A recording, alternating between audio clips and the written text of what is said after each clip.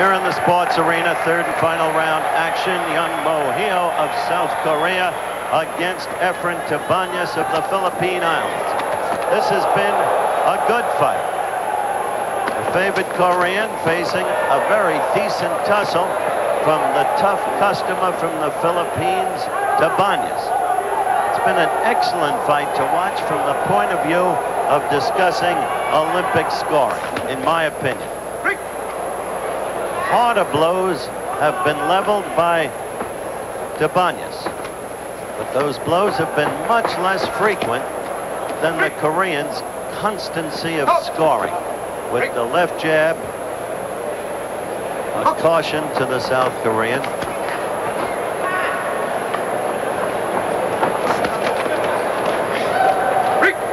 A little bit of wrestling.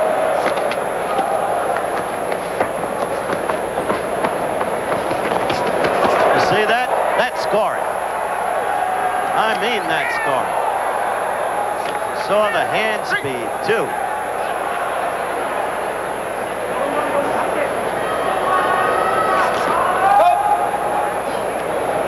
Now, one hard blow that excites the fans, if scored by Tabanas, doesn't compare to the seven blows registered unansweredly in succession by the South Korean.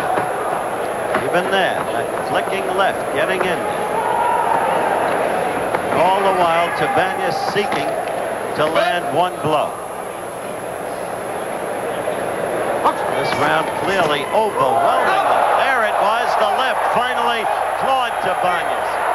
It seemed almost inevitable. This South Korean will be a very tough customer for Steve McCrory because of the reach edge he will have on Steve. Tabanas tries to strike back. You hear the crowd getting into it. But I think this could be it. Let's see. Doctor looking. Oh, doctor's going to permit him. Blood in the mouth. Doctor's going to permit him to continue, and so the fight resumes. We have 50 seconds left in the fight. I see no question as the South Korean continues to score almost at will. But in its way, a very interesting fight.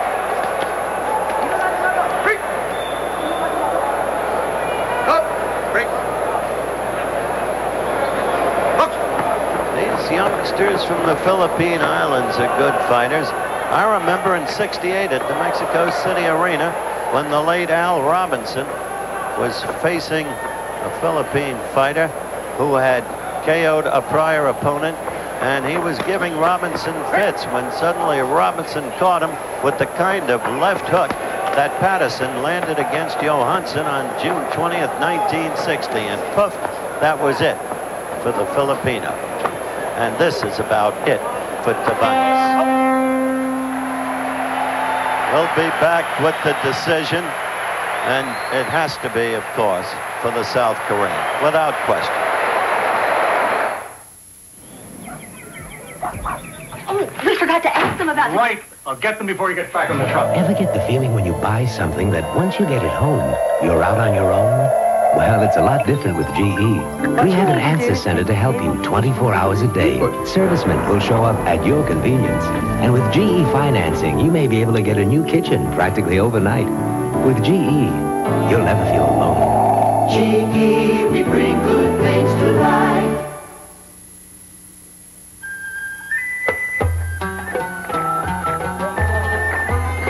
Twelve years ago, there was barely a patch of grass to play soccer on in his country.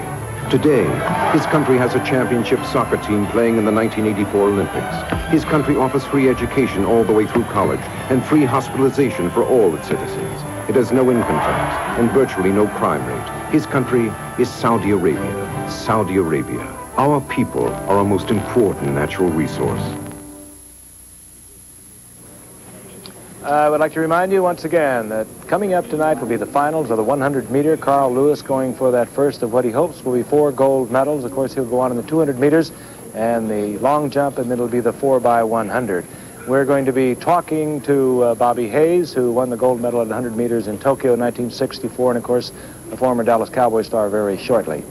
I'd like to give you the results of that fight from a moment ago. Hio of Korea took the decision. It was a 4 to 1 decision over Tabanas of the Philippines. Okay, we'll be returning here shortly, but right now, let's go to Howard Cosell. In the middle of the Olympic boxing competition, where American fighters have yet to lose a single fight, there has been a distressing incident involving Coach Pat Nappi, head coach of the U.S. boxing team. He almost left this area last night. He was talked out of it at the airport by his assistant coach, Roosevelt Sanders. Why? The story unfolds in my talk with James Fox, the executive director of the United States Amateur Boxing Federation. Let's meet Jim Fox now. Now, this is Mr. James Fox, the Executive Director of the United States Amateur Boxing Federation. So that America can hear directly from you what happened, detail the Pat Nappi story for us. Well, Howard, I, th I think it's a situation that, it, that, that really began in Las Vegas. And it's an area whereby that uh, much pressure has been put on my coach and it's an area that, that the U.S. Federation is 100% behind him and wanting and wanted to let everybody in the country know that. All right, but what happened last night? The man did go to the airport and was going to leave. The man uh, was discouraged by the fact that he thought the people weren't 100% behind him. He thought that he thought that that what was uh, portrayed to him in the press was the actual feeling of some of the kids, and we've discussed that with the kids. We've discussed it with him, and that's all solved now. The kids respect Pat now. Very much so. All right. Now, what happened directly that caused him to go to the airport, Jim? It had to do with a professional fight manager and trainer bringing three of the kids to his, a gym of his choosing and inviting sports writers there, didn't it? Howard, I'm not sure about the inviting of the sports writers. I believe it was a situation where he let it be known but it, it's an embarrassment to us. Uh, it's an er something that has happened. We hope that it won't happen again. But remember this, we want to do whatever we can to help our kids. We think Pat Nappi is the way to get that done, and we're going to work whatever we have to get done. And who was the manager and trainer who took the three fighters to the gym? Emanuel Steward from Detroit. Okay. I think that's the story. But Pat Nappi is back. Pat Nappi has never left. He is our coach. Okay. Thank you very much, Jim. Thank you, Howard. You know, in celebration of the Olympics, Los Angeles has offered some of the most wonderful art exhibits and many to honor the athletes and the world of sports. Well, we think we found the most unusual collection in town, and I think that you're going to think so too after you view this. Made of riding boots and pants? How about a golf club reading lamp? These are part of the sports furniture exhibition at a local folk art museum here in Los Angeles. They make the perfect gifts for the sports nut who has everything. The criteria were that you had to make it out of real sports equipment. And the second thing is they had to really be furniture. If it's a chair, you could sit on it. A table, you have to it had to be solid. Have to be able to put a drink on it. The surface couldn't be soft. And the third criteria was art. And I said that would take care of itself.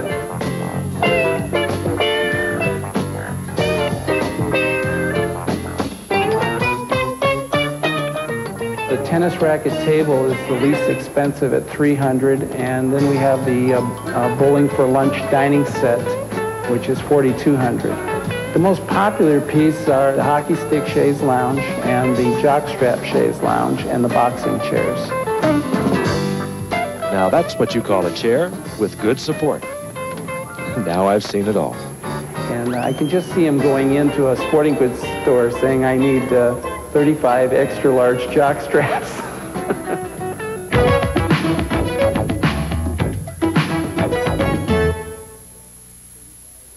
Here's Lipton tea lover Chris Evert Lloyd. My coach watches everything from my backhand to my forehand, even what I eat and drink. That's why I drink Lipton iced tea mix with NutraSweet. It's sweetened with NutraSweet instead of sugar or saccharin, and it's got the Lipton tea I love so much. Mmm. It's so good. My coach drinks Lipton iced tea mix too, which makes me feel good because he's more than just my coach. He's also my dad. so, you're considering more life insurance? Uh-huh. In fact, the Northwestern Mutual agent showed us this industry rating. You've talked to the Quiet Company. Mm-hmm. Northwestern Mutual was rated number one for low-cost whole life insurance. This superior life insurance performance is another leadership benefit available only from agents with Northwestern Mutual Life, the Quiet Company. Well, they're a tough act to follow. I know, I know. Nissan 300ZX. Turbo. Looks fast.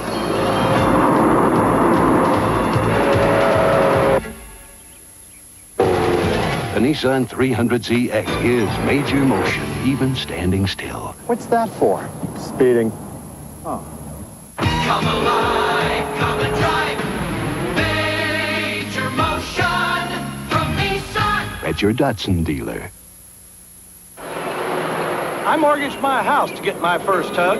Believe me, the Genie T needed plenty of work. Good night, Skipper. Today, I own two others just like her. Because we give our customers a good, honest pull for the money, and that pays off.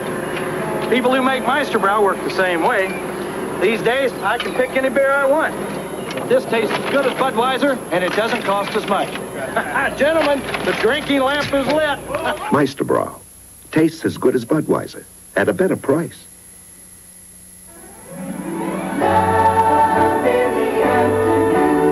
On One Life to Live.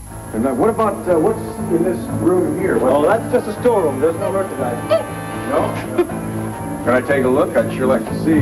And on General Hospital, it's a kiss for a killer as Celia fights to save her husband. Just remember that I love you. For God's sakes, don't mess with Putnam. He's much too dangerous. One Life to Live, General Hospital.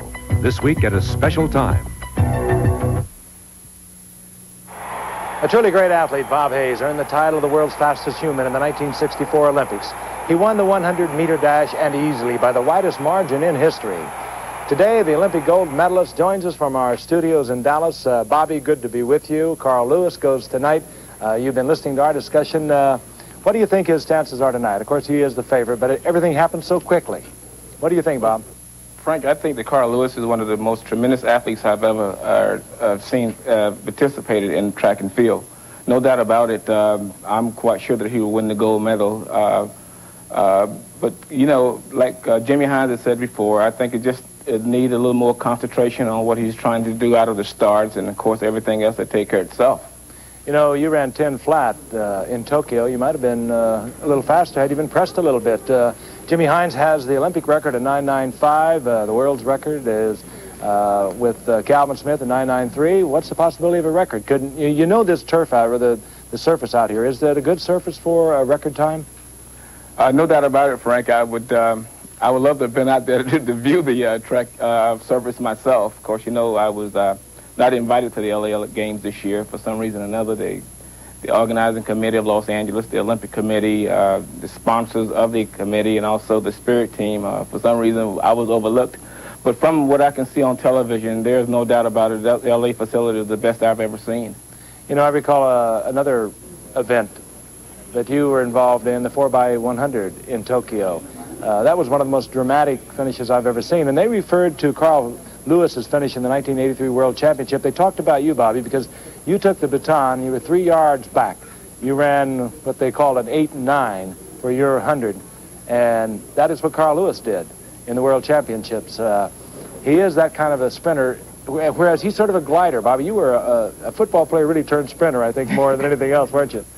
Frank, I just had a very unorthodox uh, style of running uh, comparing to uh, Carl Lewis. But uh, I, we were behind in the relay about six or seven yards, and um, I just had to give everything I got. And, uh, you know, you don't ask God to, to, to, for victory. Just ask him to give everything you got to participate in whatever you're doing at that given time. And I was a very fortunate young man that I caught, you know, uh, four or five athletes who were running the uh, the final leg of the of the 400 meter relay and uh, went on to win and brought the victory back home where it belonged in America. You know, you had another run recently carrying the Olympic torch as it traveled some 9,000 miles around the country. What did that mean to you, Bobby? I know you were hurt when you weren't invited out here, but what did this mean to you, this moment? I'm still representing the greatest country in the world, and uh, regardless of me not being invited, I'd rather deal with these problems here than, go, than living in any other country around the world. What it means to me is I, I'm representing not only my country, I'm representing my people, I'm representing my school, I'm representing my family, and everybody who's totally involved, and also Dallas. So, you know, to me, uh, I was very lucky to just be chosen to carry the Olympic torch and get back in the groove of the Olympics again. And more involved that uh, Rafer Johnson, who lit the torch there in Los Angeles, to start the games off, passed the baton off to me in Dallas. Mm. Bobby, you've been involved in what could really be called the tragedy of our times.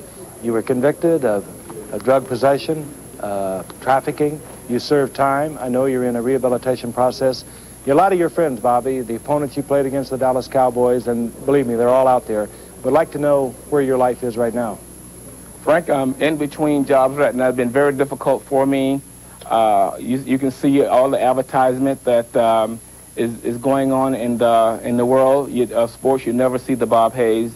Uh, it's very difficult to get out there and uh, get someone to trust and believe in you now as a citizen of game because everyone don't think in terms of your, the accomplishment that I have uh, accomplished in, in athletics, but just more or less the, the, the drug uh, uh, conviction.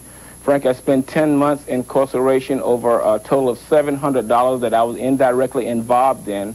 So this is the reason why I will, in turn, Frank, would love to get a, a good writer as a Alex Haley, maybe a director as a Norman Lear, maybe a, a major TV network as ABC as someone who can really get out there and show the American public and, and have them to see exactly what have happened to name athletes. Not only the name athlete, but it's to everyone. But we more or less own the predator, and we the one got to play the role as a role model. So I want the American public honestly to see exactly what have happened in my life because it has been a downhill situation, and it's very difficult to come up on top again when someone continue continue to uh, kick you and stab you in the back and don't want you to, you know, to try to redeem yourself. Well, Bobby, what you just described, and uh, I being aware of it, and your friends like Don, uh, Meredith, and all your pals from the Cowboys uh, suffered really with you. Uh, you went through all of that. And having gone through all of that, what would you say to the young people of America?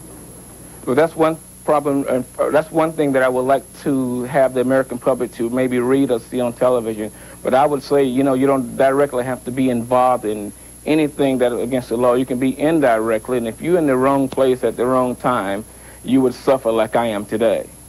Bobby, we thank you for being with us. I, I know that all of your friends I mentioned before, most of your opponents, maybe not some of the defensive backs that you blew away and gave a draft when you went running by them. Uh, you, of course, hold so many of the Cowboy records. I know they all wish you well. Thank you for being with us, Bobby. I wish thank you would have been here for the opening also. Frank, thank you very much. And I just wanted to say... All right, we'll be returning in just a moment. Swimming competition coming up.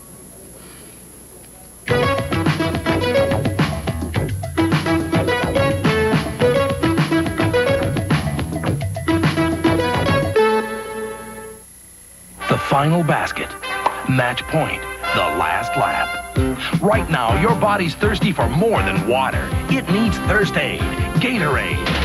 Gatorade is Thirst Aid for a deep down body thirst. When you exercise, you lose more than water. You lose potassium, minerals, fluids. Gatorade puts it all back fast. It's no ordinary thirst quencher. It's Thirst Aid. Gatorade is Thirst Aid for a deep down body thirst. I loved it. It's going to be a huge hit. Finally, something the whole family can enjoy. Everyone's talking about crab legs, too, at Red Lobster. Order any entree, and for only $3 you get crab legs, too. One half pound of irresistible snow crab legs. Crab legs, too. It's everything it's cracked up to be. And the critics love it. Crab, crab legs, too, at a Red Lobster near you. There's only one Super Bowl of cereal, and there's only one taste that makes it the super taste of Kellogg's Corn Flakes. Just think of crispy golden flakes. Delicious, crunchy flakes of corn. So pure and simple, just can't wait. Low in sugar, loaded with vitamins and iron. So good for you, don't hesitate. For a Super Bowl of our most nutritious corn flakes ever. What a Super Bowl! Have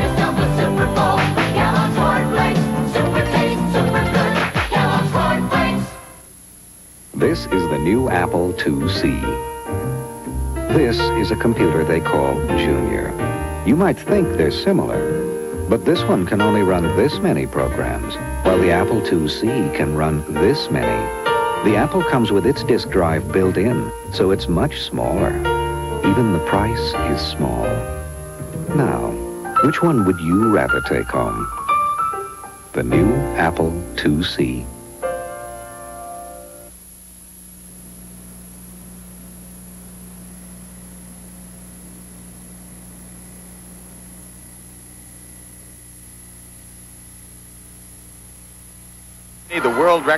Held by Cornelia Sirch of East Germany. It has been an event dominated by Eastern European swimmers, particularly those of the German Democratic Republic in recent years. Here is an Eastern European swimmer who is here and is regarded as one of the favorites to win the gold medal in this event. In lane four, Carmen Bunaciu, 22 years old from Romania. You may remember her as the fastest non-East German 100-meter backstroker in history, who was a disappointment in that event when she finished fourth. And there next to her in lane five will be 19-year-old Tori Trees of Louisville, Kentucky, and the University of Texas. One of the biggest surprises of the United States Olympic trials when she finished second to Amy White in this particular event after being the eighth and final qualifier into the trial. In the 200 backstroke at the United States Olympic trials, Trees went out very, very fast in the first 100 meters and then was able to hang on to make the team. Others in the field with a chance to make the final. Audrey Moore, 19 years old from Australia, swimming in lane three. The fastest qualifying time so far, 213.50 by Yolanda de Rovere of Holland. Something in the 213s is probably necessary to make the final. There is one more heat in which there will also be some fast swimmers, some who are regarded as potential medalists in the event. And I would look for Tori Trees to swim this trial just like she swam the trials in Indianapolis, to go out as fast as she can and hang on, and that's exactly where she is. She feels comfortable with doing it that way. You usually don't change your strategy right before the finals of an Olympic event. Tori Trees is from the Lakeside Swim Club, the same swim team which produced Mary T. Meagher originally. They've known each other since they were nine years old. But unlike Meagher, Trees is a relative late bloomer. She's only really emerged as a top backstroker in the last couple of years.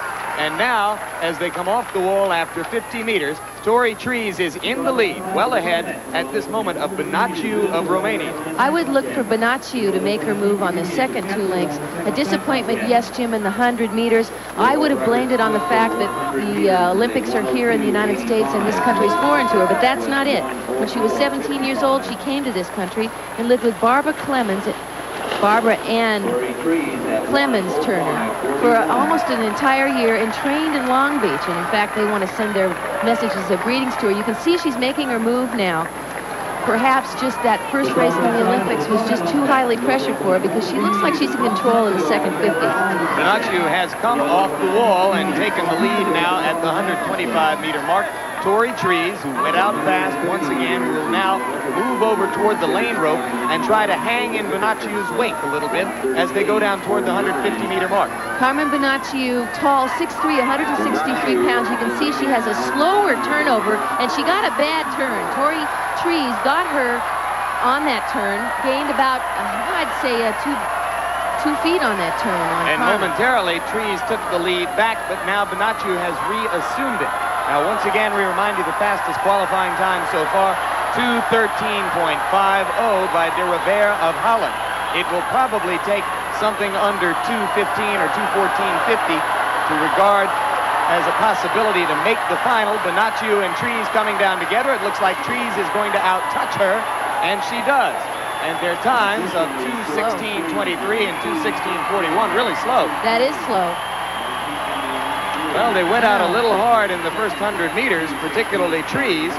And I think you can tell by looking at Tori that as she looks at the clock, she is not as satisfied as the American crowd here, which is applauding her for having out-touched Bunaciu. I, I think she doesn't believe she went so slow. That, that was not a good swim. It does place her in fourth place before the final heat.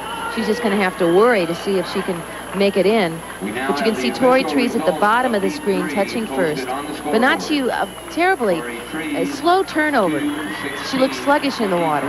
Trees and Bunaciu will be in trouble only if the final heat is a very fast one, but they'll have to wait and see. There are lots of ways to communicate over long distances, but with some, you may not be able to reach everywhere you want, anytime you want. And a faraway message may feel far away.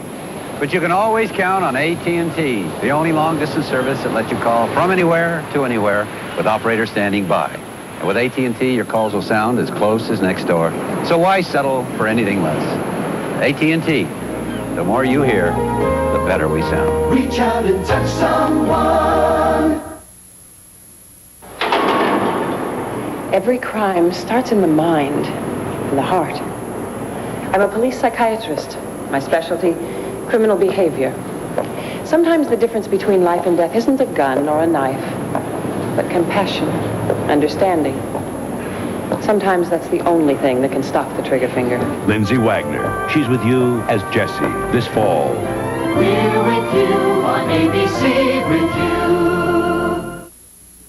Make your weekend cookout a sizzling success with HEB skinless heavy beef fajitas. $1.79 per pound. Add a natural fresh dessert of delicious California red and sweet plums. Three pounds for a dollar. Clean up afterwards with Spillmate paper towels. 58 cents per roll in assorted colors. And before the family vacation, change out your oil with Golden State Motor Oil. Two quarts of 30 weight, only $1. Now at your neighborhood HEB. Summer vacation headquarters for one-stop shopping. What does it take to become a winner? It takes caring for your body in a special way, with proper exercise and rest. It requires special nutrition from a well-balanced diet, but most of all, it takes a personal desire to be the very best.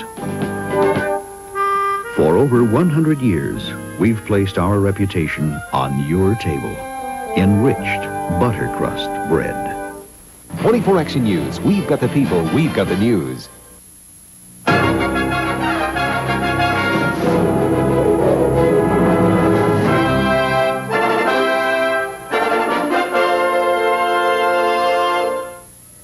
Coming up now, the last heat of qualifying for the women's 200-meter backstroke, and in this heat, we're going to see the top American 15-year-old Amy White of Mission Viejo, California, and also a Romanian swimmer, Aneta Patrascoiu, who's regarded as a favorite to win a medal. Patrascoiu will be swimming in lane four. There she is, the fastest active non-East German of all time in this event, the 200-meter backstroke. Her nation, Romania, has never won a medal in Olympic swimming. They were expected to with either Patrascoiu or her teammate Carmen Bunaciu in the women's 100-meter backstroke, but the two of them failed to get into the medals there. So now they have another shot here. Bunaciu has swum a slow heat and is not necessarily a certainty to qualify for the final. The fastest qualifying time so far, 2.13.50 by Yolanda de Rovere of Holland and Georgina Parks. Great Britain is second at two, or second uh, tech at Georgina Parks of Australia, I should say. Second so far at 2.14.89. As they take off into the pool, remember that Patrascoiu is in lane four. Amy White, 15 years old, the Pan American Games champion in the event, is in lane five. Sandra Dahlmann in lane six from Gladbeck, West Germany, youngest member of the West German Olympic swimming team, also has a chance to make the final. Amy White won the gold medal at the Pan American Games in Caracas, Venezuela last year, so she's had international experience. And that scene was a difficult one because uh, uh, the crowd was very pro-South American swimmers and not necessarily uh, supportive of the American effort. So she's had to deal with adverse conditions in international competition, and I'm certain that she's got control of this race. She looks good. She went out a little slow in the 50, but bringing it back harder in the 100. Very smooth backstroker. Right now, as they come toward the wall at the 75-meter mark, Bunaciu of Romania has taken command of this heat. Or check it, Patrascoiu, I should say, of Romania has taken command of the heat. Amy White very close to her in lane five. Amy White was born on the same day that Debbie Meyer won the 400-meter freestyle at the 1968 Olympics in Mexico City. Coached by Mark Schubert at Mission Viejo, California. At the United States Olympic trials, there were some who questioned Schubert's training of the Mission Viejo swimmers for this year because they started slowly in the U.S. Olympic trials. But a gold medal tonight by either Meagher or Amy White would be the sixth of the games for Mission Viejo swimmers. And right now, Amy White is moving up on Patrascoiu. And she better move up because that uh, split time of 106.34 is slow. She's going to have to bring back this race fast to qualify in a, in a good position for the final. And she's doing that. She's making her move now. Well, both Patrascoiu and Amy White are moving out now. They benefit from the fact that the preceding heat was a very slow one. So they do not have an insurmountable obstacle to overcome as they come down toward the wall trying to qualify in good position for the final. The rest of the field has fallen off a little bit. Lead of Great Britain up in lane three has dropped back. So has Sandra Dolman of West Germany. And in fact, Sophia Kraft of Sweden is a little bit ahead of Dahlman. But Amy White touches first in 2.15.40. That will make her the number three qualifier for the final. Patrascoiu's time of 2.16.71 will make it into the final. And the other Romanian, Bunaciu, is also safe. So, both Americans, White and Trees, and both Romanians, Bunaciu and Patrascoiu, have qualified for the 200-meter backstroke final. Are official.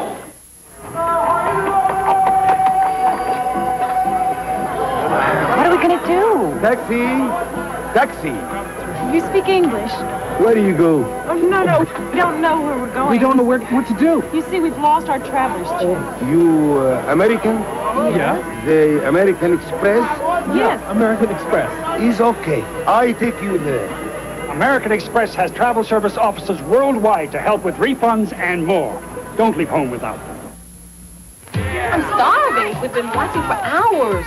Okay, the next event is the Pizza Fetch. Yeah, Pizza Hut.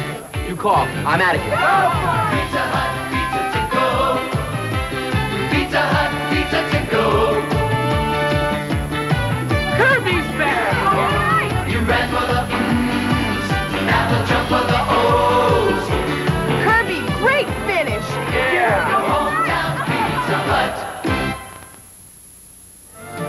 Here at the Olympic pool, American swimmers go into the last five events of the competition with a chance to equal or surpass their previous high gold medal total of 21 in Mexico City. Americans are favored in three events and have at least an outside chance to win the women's 200-meter backstroke, in which qualifying was slow and no clear medal favorites have emerged.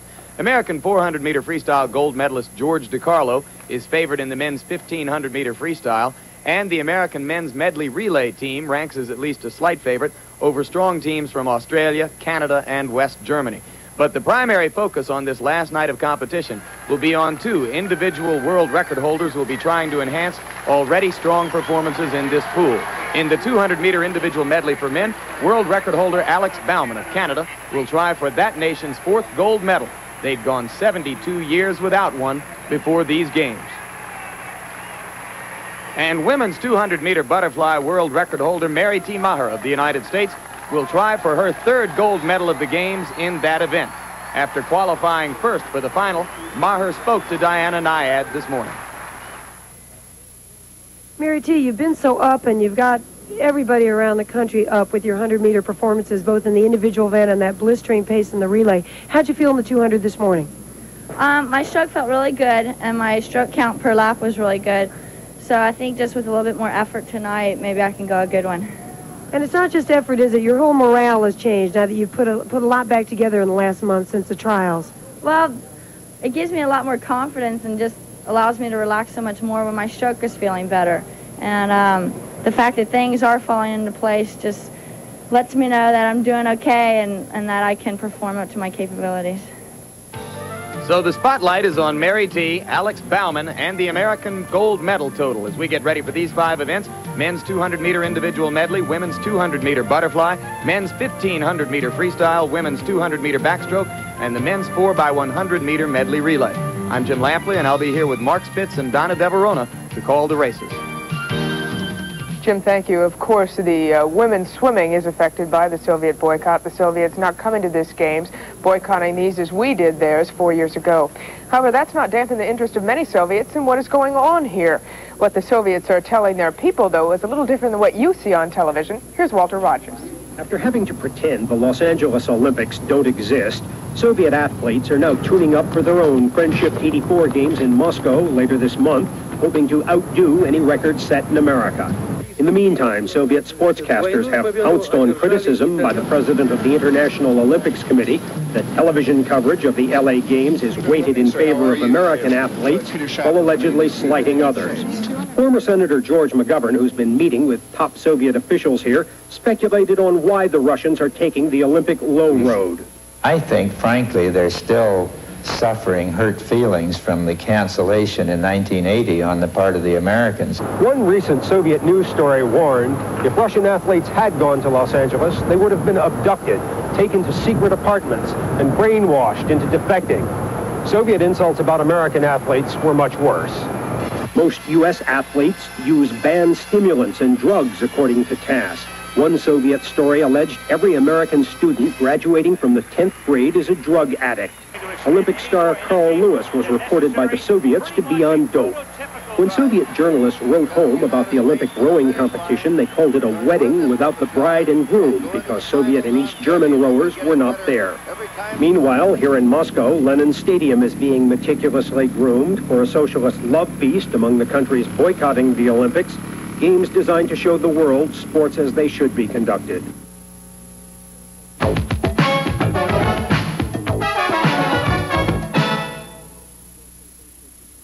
Got the blues, got 'em real bad. The best old blues this body ever had. A personal blues I don't want to lose. Levi's button fly 501 blues. They shrink down and fit me, so you know what that means.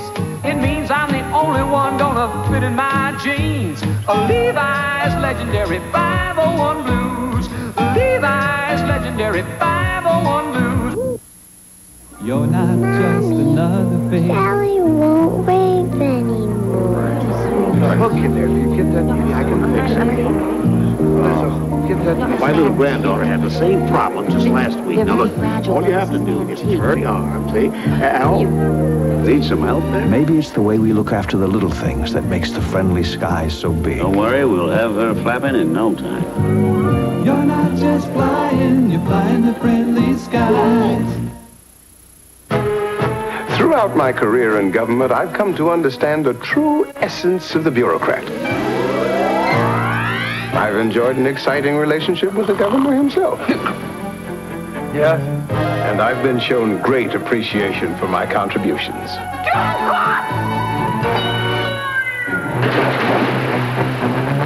Benson, he's with you. We're with you on ABC with you. Over the past six, six days of our coverage, we have been looking around the Los Angeles and Southern California area, trying to find you interesting spots for those of you who maybe have never spent much time here or been here.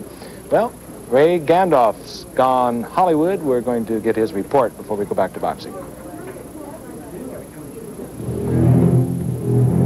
We understand that nowadays Jaws is considered pretty tame stuff by horror movie connoisseurs.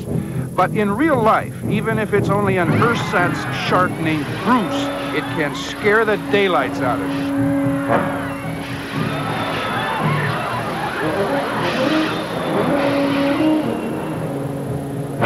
you. Bruce performs whenever a crowd gathers, and about 3 million people a year visit the Universal lot. It's the third most popular man-made tourist attraction in the country, after the two Disneys. An aerial view of the Universal lot is not part of the tourist package. This gives you an idea of the vastness of the Universal that is. Here's a look at the Universal that was. The tours began in 1915 when Carl Laemmle opened his lot to visitors for 25 cents apiece. And you could see silent movies being made. Talkies required quiet sound stages, so there's no live action on the current tours, and the two bits admission fee has inflated to $11.50. and what you get are memories. Remember the Western sets where Jimmy Stewart and John Wayne rode tall in the saddle? The false front town known as Six Points was the setting for many of the Universal Westerns. It was here where Mae West freed W.C. Fields in My Little Chickadee. The gallows rope remains. Six Points remains too, a ghost town, although Universal uses it for TV westerns and maintains it in the hope that movie westerns will make a comeback. Keeping up the sets is easy. It's the Jimmy Stewarts and John Waynes that are hard to come by. All the movie studios had a set like this, the quaint little village, where all sorts of skullduggery and daring do were done. Universal's is called Little Europe. Frankenstein and Dracula were filmed here. So was All Quiet on the Western Front. Designers and carpenters could turn ancient Rome into the set for the movie Earthquake, in which a make-believe Los Angeles was destroyed. Same people turned the same set into East Berlin and New York City. Then there's Colonial Street, Hollywood's version of Mr. and Mrs. Middle America's home, including Mr. and Mrs. Ward Cleaver, Wally and the Beaver.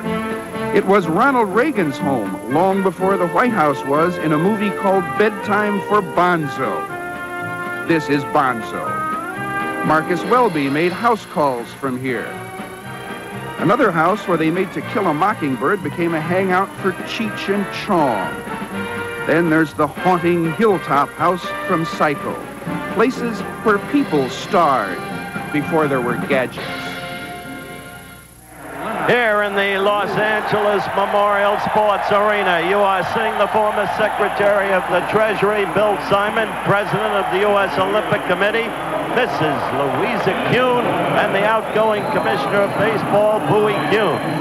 And the fight they'll be seeing right now, super heavyweights, Muhammad Yusuf of Pakistan, and the sleeper of the super heavyweight division, there he is, Lennox Lewis of Canada. Canada has two great fighters, the pure heavyweight, Willie DeWitt, and of course, the light middleweight Sean O'Sullivan. Both given good shots at winning the gold. But Lennox Lewis has enormous punching power, and he is worth a look for this reason, because he could wind up being the key opponent of Tyrell Biggs. The action begins in round one.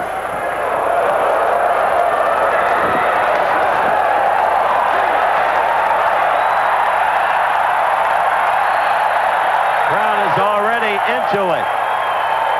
Muhammad Yusuf of Pakistan trying to be the aggressor, coming right in at Lewis, and he may pay the piper for that.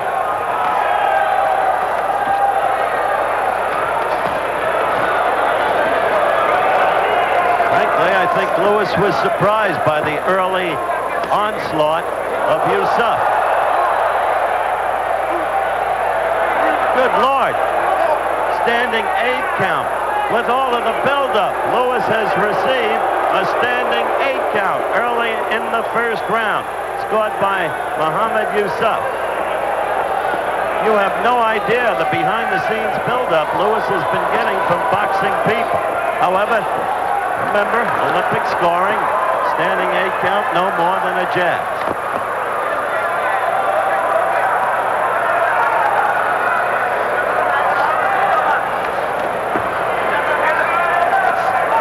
There was the Lewis right, got in.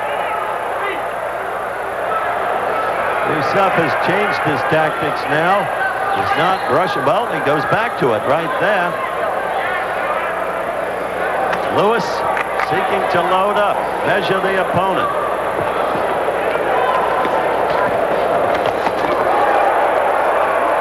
We have a minute 20 left, as you saw in the first round. First round action and a stunning surprise. Yusuf connecting again as he surges forward. Mouthpiece out, must be restored. Time stopped in the round. And the mouthpiece will be cleaned. This fight is being officiated by Dimitar Dobrev of Bulgaria. The judges are from Yugoslavia, Chinese, Taipei, Gabon, Venezuela, and New Zealand. Scoring again, five judges, 20-point must system. Headgear mandatory, must pronate the blow, hit with the white portion of the glove. An amazing first round. Lennox Lewis with a good right counterpunch just a few seconds ago.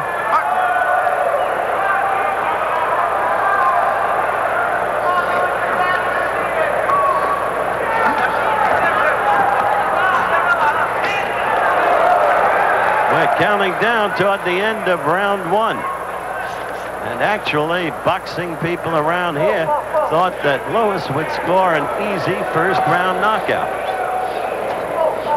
But that hasn't proved out at all.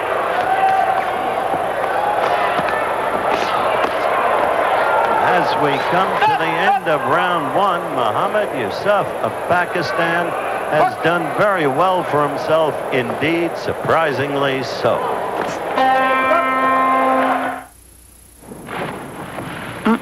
Here comes trouble. I hate her. Yeah, but do you think she's happy? With those looks? Nah, probably not.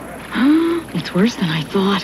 Hey, what's that she's drinking? Mm, looks like Diet Sprite. Do you think she knows it's the only lemon lime soft drink that's sugar-free and has the great taste of lemon? Well, that would mean she has brains, too. Oh, I don't want to think about it. It's only Diet Sprite for you.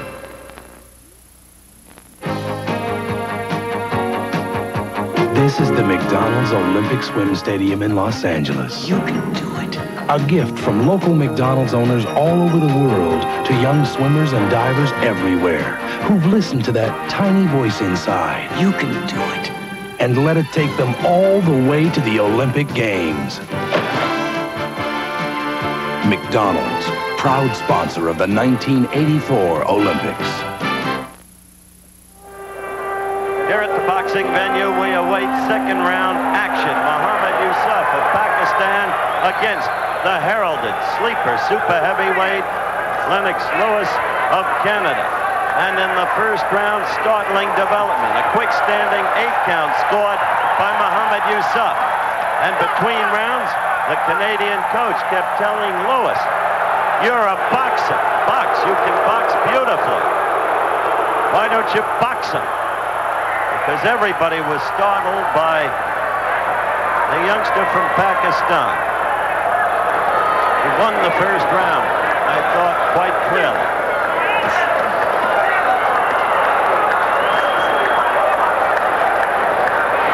He is beating Lewis to the punch every step of the way. You see the right lead, and he doubled on the right.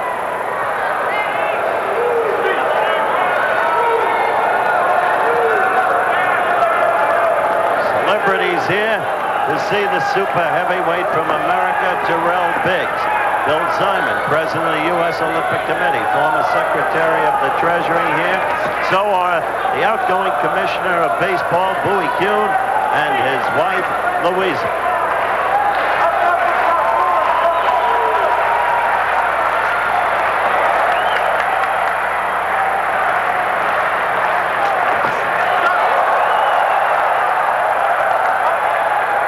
Caution to Yusuf. And the official is from Bulgaria. There was a right by Lennox Lewis. Now he's trying to unload. Again, the mouthpiece out again. The clock stops again. The Rapaggio.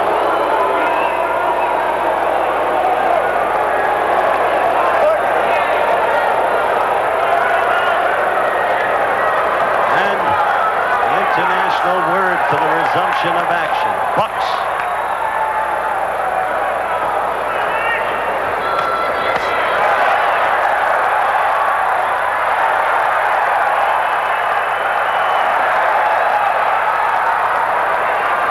Lewis now showing movement, real movement for the first time. Of course, these are super heavyweights.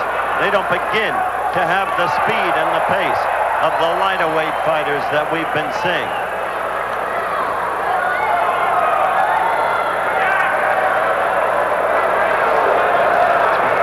This is the first time in Olympic history, we are having the super heavyweight classification. I think it's a very good idea.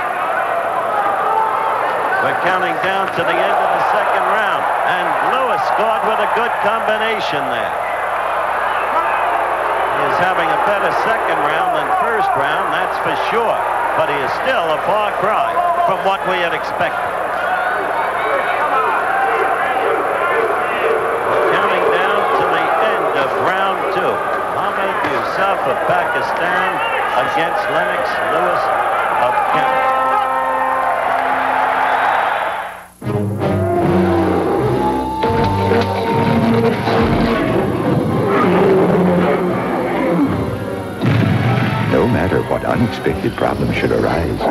Transamerica Property, Casualty, and Life Insurance can be there to protect you. Hey, you big ape!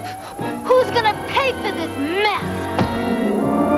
Transamerica. Insurance, finance, manufacturing, transportation, innovation. The power of the pyramid is working for you. The 1984 Olympics. We at Canon eagerly await the challenge. For these games offer glory to camera and competitor alike. The Olympics, a showcase where power and precision unite to create award-winning performance. For the 84 games, once again, Canon will perform as the official 35mm camera. Once again, Canon will capture the glory. Here we go, third round action. Lennox Lewis, Canada, against Mohammad Yousaf of Pakistan. Canadian coach, a delight in the corner between rounds. Speed, speed, give it to him. Bang, bang, bang. You've got to win big. Don't leave it to the judges. So Lewis starts quickly. Pakistan fighter keeps coming back. Nobody thought this fight would go into the third round. Lewis scoring better with the jab now. There's the movement.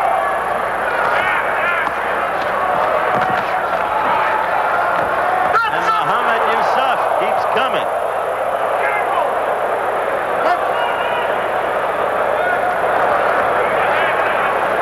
We have a little more than two minutes left in this, the third and final round. Round that should determine the fight. My subjective view, I gave the first round. There it was. He got it in, finally. The heralded power of Lennox Lewis. Dropped the opponent right there. First knockdown. And the fight is being stopped. Referee stops the contest. Lennox Lewis is the winner in the third round. Let's look at that again in slow motion. Here it is. Now watch. Led with the left and that left combination wide open, left and right by Lewis. And down went Muhammad Yousaf. After having fought a notable fight against a very, very touted opponent. Tur- turned out to be surprisingly good. So the action continues and the excitement here at the Los Angeles Memorial Sports Arena.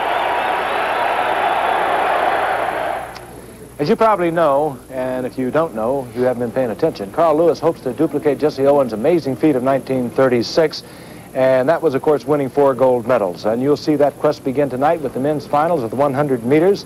So it seemed appropriate to take a look back at the legendary figure, Jesse Owens. He was truly one of the great athletes of all time. Here's Al Michaels. Berlin, 1936. The sign of the swastika marks the eerie pageantry of Hitler's games. One man defied all the strange symbolism of these games. Jesse Owens, the antithesis of Hitler's master race, winner of four gold medals at Berlin.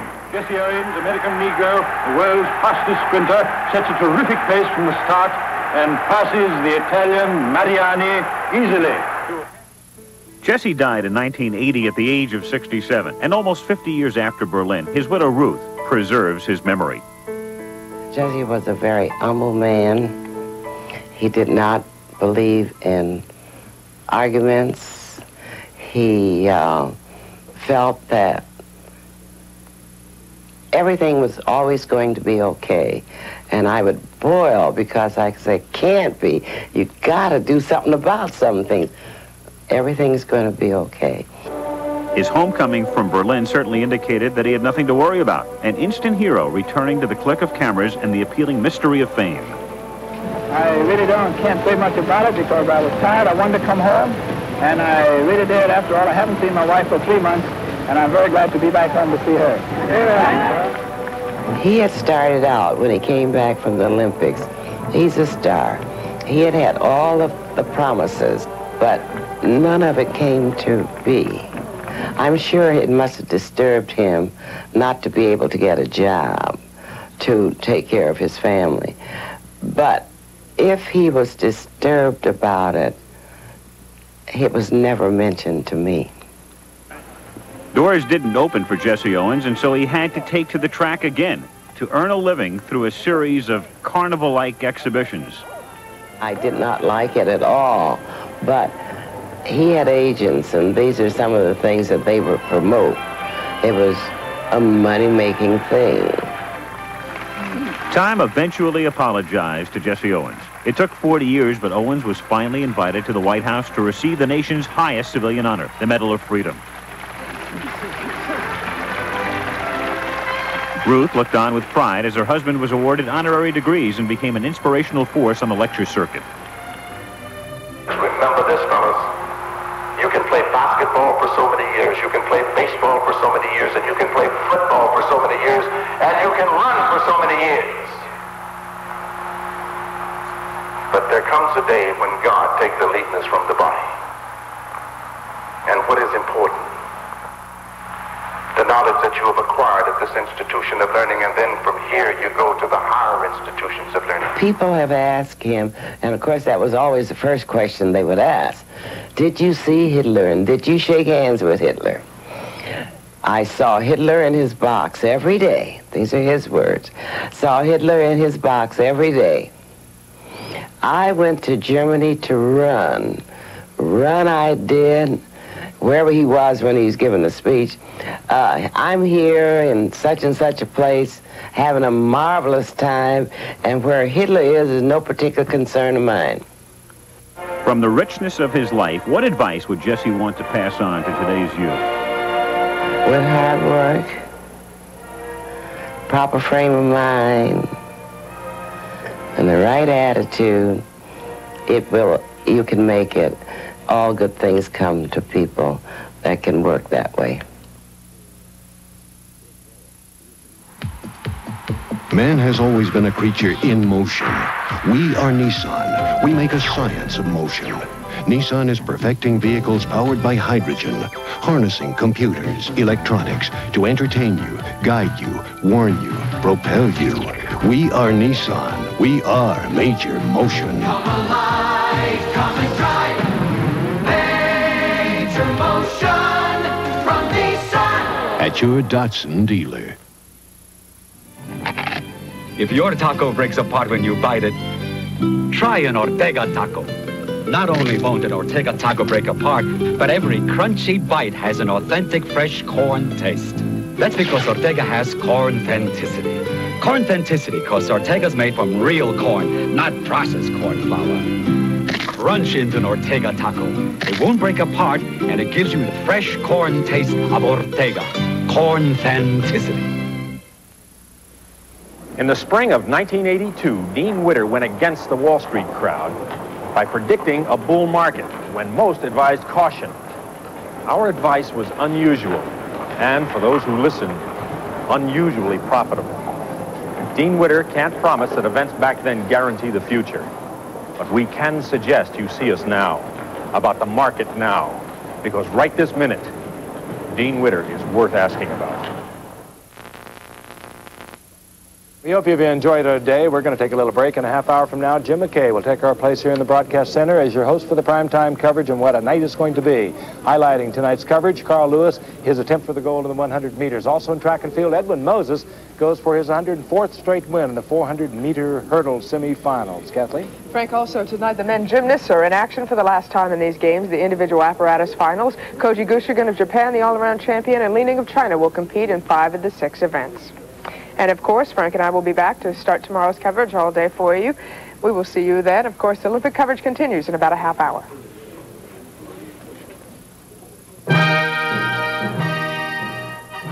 The games of the 23rd Olympiad have been brought to you by the Coca-Cola Company and the people in your town who bring you delicious, refreshing Coca-Cola. At the 1984 Olympic Games, Coke is it. Local McDonald's restaurants who joined together to build the Olympic Swim Stadium. Canon, proud to be the world's leader in 35 millimeter photography and the official camera of the 1984 Olympics. And Sears, where you'll find great values, great service, and a great selection. You'll find the things that make life worthwhile because there's more for your life at Sears. Travel arrangements made through and a promotional fee paid by United Airlines. Many United flights are now showing highlights of the 1984 Olympic Games. Be sure to join us in 30 minutes when our coverage of the 23rd Olympiad continues. The U.S. is sprinting for gold. Tonight, superstar Carl Lewis begins his quest for four gold medals. He's out to prove he's the world's fastest human in the 100-meter final. And following their crowning moment, there's one battle left. All-around champ Koji Gushiken and silver medalist Peter Vidmar compete for individual apparatus titles. Plus, the American Gold Rush continues with five swimming finals. And boxing's best charge on. Coverage of the games of the 23rd Olympiad continues tonight, exclusively on ABC. It's Super Closeout Week at Town Lake Chrysler Plymouth. We've got a new shipment of luxurious Chrysler Fifth Avenues, now up to $1,200 off with this special factory promotion. Plus, we're overstocked on Plymouth Reliants with up to $800 in Town Lake discounts available. It's a super closeout on 84 models to make room for the 85s, and Town Lake Chrysler Plymouth is ready to deal. Luxurious Chrysler Fifth Avenue, dependable Plymouth Reliant, both with five-year, 50,000-mile protection and both priced to go fast. Sale ends Friday, August 10th, so hurry to Town Lake Chrysler Plymouth. Final weekend. That's right. This is the final weekend of the $2 million one-half price furniture sale at Furniture Expo. All Lane, Sealy, and Burlington is still one-half price. Everything in the largest selection of home furnishings anywhere in Austin is still one-half price. 90 days, same as cash. Credit terms, MasterCard, Visa, all acceptable. So you don't have to pay fancy retail prices. Sale ends Tuesday. Come now to the Furniture Revolution at the Furniture Expo, 505 East Ben White, and save 50% on all home furnishing needs. From KVUE TV in Austin.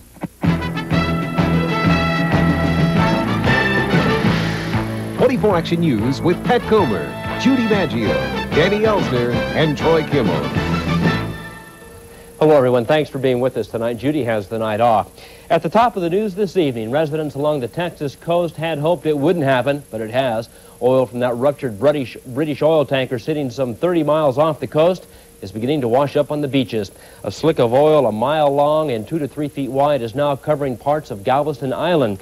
And as Tony Clark reports, the sticky problem of cleaning up the mess has already begun. Strong winds pushed the oil and tar onto the Galveston coast overnight. The water splashing against the seawall was black in places, and all around there was the thick black crude that filled the air with the smell of a refinery. Despite that, many fishermen continued to cast their lines into the murky water. Dan Munoz was fishing all night long, and he said he could tell when the oil started washing ashore. Well, it was pretty fair until uh, just about a couple hours ago. The tar ball started really rolling in with the current. And uh, now the wind's picking up, and it'll really bring it in now. The oil and the smell were too much for other fishermen. Jane Lewicki said, it's just awful, and she called it quits. The oil kept coming in and would get all over our poles and our line, and there wasn't much sense in staying. It's going to get worse before it gets better. There was a long stretch of oil five miles off the Galveston shore early Saturday morning, and it was headed straight for land. Tony Clark, CNN, Galveston. Meanwhile, high winds and choppy seas, seas have halted salvage operations on the tanker, which still contains several million gallons more of the crude oil. Work crews are waiting for the weather to improve to place booms around the spill as a barrier and then pump the oil and the water from the sea into the barges. Upon touring the area, Governor Mark White likened the cleanup efforts to planning for an invasion. With a Monday deadline approaching for filing protest on property tax appraisals, taxpayers all over the district are deciding whether their land and homes are valued too high and what they should do about it. Jim McNabb says one South Austin Neighborhood Association has decided what they're going to do.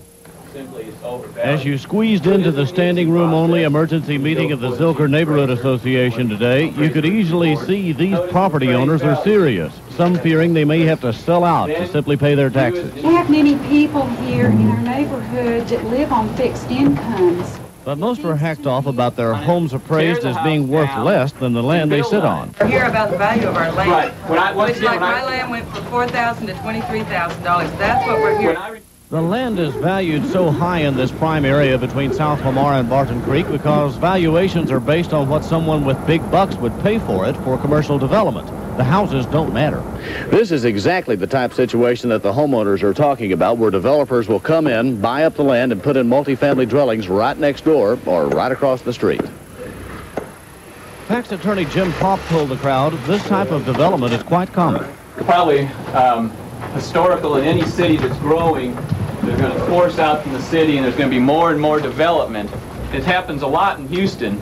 In an effort to scale down the appraisals, the Neighborhood Association distributed about a thousand protest forms throughout the area, and Pop told the residents how to fill them out. It isn't an easy process when you go before the chief appraiser or the appraiser review board. It's not an easy process. You need some facts and figures. You need to have some reason as to why he's placed too high a value on your house other than as simply it's overvalued. The association will hand deliver the stack of forms on the deadline Monday. Do they expect to have an impact? One member said, there's a time to fight and a time to shut up. It's time to fight. It's our only chance. Jim McNabb, 24 Action News. What may be the last meeting of the State Board of Education as it's now constituted ended in mild protest today. Four members of the current elected body said the board was trying to shape public school policy rather than leaving it to the new appointed board. Board Chairman Joe Kelly Butler was singled out for especially harsh criticism in a letter signed by the protesters, but Butler said the incident didn't bother him. They walked out, I didn't see them. I, they weren't here in the first place. Uh, you know, that's their privilege. Uh, they, they can have their own opinions about how they want to conduct themselves, and that's fine. I, I have no objection to that. The rebels said the board had made recent policy decisions on compensatory bilingual kindergarten and vocational education that were contrary to the intent of the legislature. One Texas boy has died and another is in critical condition, both victims of a rare disease they may have contracted while swimming. Doctors say that three-year-old Derek Leach of Irving died from amoebic meningoencephalitis, a disease which they suspect he got while swimming in Lake Grapevine. The second boy, 12-year-old Ben Wright of Uvalde, was hit by the same disease after swimming in the Frio River at Garner State Park. Although the park remains open tonight, the state has banned swimming in the river. Since 1977, there have been only 80 cases reported worldwide. Almost all were fatal. It was discovered three years ago, and still it's leaving doctors baffled. Acquired Immune Deficiency Syndrome, or AIDS, is a condition that causes your body's normal defense mechanism to be broken down, leaving you susceptible to rare diseases. The AIDS scare has left many people afraid to donate blood, but Mary Sitt reports there's something you should know about blood centers. Have you been exposed to anyone diagnosed with AIDS? No. Are you a Haitian immigrant? 25-year-old Scott Parker is donating blood for the first time here at the Blood Center, and he's going through a screening process that's designed to keep out donors who have AIDS or who might develop it. These last few questions of a 45-item medical questionnaire are specifically geared to detect signs of AIDS. It's the first part of a screening process that every donor must undergo. Parker won't get paid for the blood he donates. He's a volunteer who decided to give blood to ensure his pregnant wife would get free blood should she need it. Afterwards, Parker signs a release stating he's read the fact sheets on AIDS the center puts out and saying he's not in any of the high-risk groups. Those groups include sexually active homosexual men, Haitian entrants to the United States, abusers of intravenous drugs. The director of the Blood Center, Trudell Green, says gay leaders here in Austin have been very cooperative in urging their community not to donate. Yeah, it's the only system we've got right now, and I really feel that we're very conscientious in the questions that we ask and how we evaluate our donors. And if there's any question at all about whether they should donate or not, then we don't allow them to donate. Once Parker passes the first screening, he gets a mini physical to check his vital signs. Another test to see if Parker is physically capable of giving blood. Later, the donated blood undergoes six hours of laboratory testing, exams to check for syphilis, hepatitis, antibodies, and a virus that can leave babies deaf. There's still no test to screen out AIDS. The best thing blood centers can hope for is a new test in 12 to 18 months that will allow them to detect a cancer virus, which shows up in a large percentage of AIDS victims. But Green says current methods of screening out AIDS are working well here in Austin. The chances of you getting AIDS from a blood transfusion is less than one in a million. And Green wants to keep it that way. Mary Sitt, 24 Action News. There were some float, float, foreign bodies floating downtown lake today. Peter Jones will be with us live from Aquafest to explain when we come back.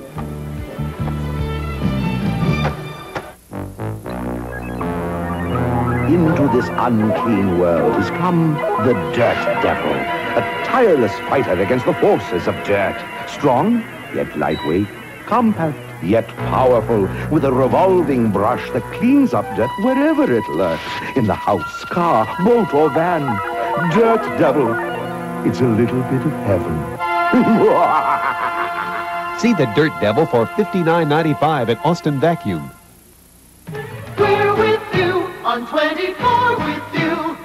You. We're with you on 24. Come on, America, let's get together. Cause when we're with you, there's nothing better. We're with you on 24 with you. We're with you. We're with you on 24. Feel the spirit young and old. We're going for the gold. We'll give you all we've got. This year we're red hot.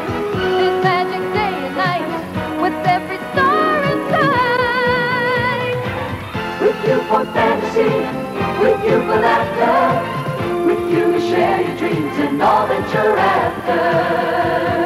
We're with you on 24 with you. We're with you, with you on 24. We're with you on 24. Well, we may not have seen much rain around here lately, but some folks down at Town Lake have found some water to help them celebrate. Peter Jones is standing by live on the shores of Town Lake to bring us the latest from Aquafest. Hello, Peter. Pat, if you can tell, we've got a nice breeze blowing off the shores here at Town Lake. So while it may be a little bit hot, there is a nice cool breeze blowing off the lake. So tonight, country night should be absolutely stupendous. Now, as you know, one of the big events in Austin is the raft race. And I think, uh, well, there will be a lot of activity tonight. Things really got hopping earlier today. Many of them arrived in the high style of Arabian sheikhs. Yes, for this group, 9 a.m. was time for a patriotic happy hour. Those rumors we heard about a Ghostbusters raft proved true. But hey, get a load out of the skipper. There are so many ghosts out here. We've got our work cut out for us. But hey, we ain't afraid of no ghosts. You know what I mean? We'll trust you with the green grocer, Marion, but I don't know about green slime. As launching time neared, this young lady had a final request. Hi, Santa. I've been a good girl, and I want a Mercedes. Please. No one could tell us what Santa was doing down there. No matter, the race was on. Although in some cases, the rafts were riding the people. And in this latter-day version of Jonah and the Whale, I think the whale is winning. Now, this entry was nowhere near the finish line, but it would seem they've already struck it rich. Yes, there's oil in that there river. Now, for you environmentalists, that really wasn't oil, that was water. And here with the results of that long race, I think some people are still out there. Darlene Lewis from uh, K98 Radio. Darlene, how did they finally wind up? Well, we had uh, in the races, the first raft to finish in the races was 36 seconds, and the last raft is probably still out there, so we don't have the official time on that one just yet. But we had a lot of fun, exciting rafts out there, from everything from shark busters to belly busters to ghost busters, you name it. We had them out there today. Rumor has it with the Ghostbusters raft, there was even, even some uh, green slime slung at a few judges. Yeah, the 24 crew slimed us. We disqualified them. No, just kidding. But we had a great time out there too, Peter. We had- 5,000 boats and no problems. No, no, no. 5,000 participants. We had over 50, uh, uh, 500 rafts in the race, but we had 5,000 participants, and we had a good time out there. It was, it was exhausting. The wind gave us a little trouble there for a while, but for the most part, it settled down, and everything went smoothly after that. Now tell me, who did you award for the best creative? It went to the Viking ship. I mean, it was absolutely beautiful. I think they put a lot of work into it, and it really showed today, and they've got the best overall today in the raft race. Darlene Lewis from K98, thank you very much. Now, later on tonight, this is country western night, so put on your boots and get ready to go out and dance your little night away. We've got some activities tonight, and who will be performing? Well, a big act. Tanya Tucker will be on the feature stage. There's lots of room over there, so please check that out. On the country and western stage, Carl Hutchins Band, and then over on the rock stage, that's where me and my photographer will hang out all night, the Cautious Dreams Group. Over at the Beer Garden, another famous spot there where people like to go, Grimalkin, group called Grimalkin. Finally at the Austin uh, stage, Nightbird, and finally over here on our Midway stage, which is right behind me, a group called High Exposure. So uh, as you can see, we don't have much activity yet, but in about 30 minutes from now, things will open up. And if it's anything like last night, you know, I saw Mary Lou uh, Retton win the gold medal. She did a terrific job, but there were still people out here. I think they just saw her win and they come running out here to see Aquafest, and there should be that many people tonight. So that's it from here. Peter Jones reporting live from Auditorium Shores. Pat? Okay, Peter, looks like you have a lot of fun. Thank you. In Los Angeles today, police have arrested a man in connection with an Olympic bomb threat. Yesterday, police raided the man's house, finding black powder, detonators, smoke grenades, and an automatic weapon. Under arrest is 26-year-old Richard Cole, a licensed pyrotechnician. Cole is thought to be more of an explosives buff than a terrorist, but Los Angeles police aren't taking any chances. Cole is in jail tonight under $200,000 bail. Today, the, the fighting in Lebanon's second largest city has stopped, if only for a while. Last night, rival Muslim militias in the northern port city of Tripoli traded mortar and grenade fire that left at least three people dead. Most of the city's residents were forced to spend the night in underground shelters, but the fighting came to a halt early this morning because students in the city had to take their final exams before graduation. Does President Reagan have a secret plan to raise taxes or not? Well, Walter, Walter Mondale says the president has such a plan, and it's going to cost a bundle. However, the president says he doesn't have a plan to raise taxes, but says his opponent does. In his weekly radio broadcast, the president said Mondale would have to raise taxes by a total of $135 billion in order to make a sizable dent in the federal deficit. The president noted that's a tax increase of about $1,500 for every American household. As for his own plans, Reagan says he will not propose an increase in personal income taxes and will veto any such bill that comes across his desk. Well, today it looked like those rain clouds were surrounding the city for a while. Troy is up next to tell us what may be in store for us. Stay with us.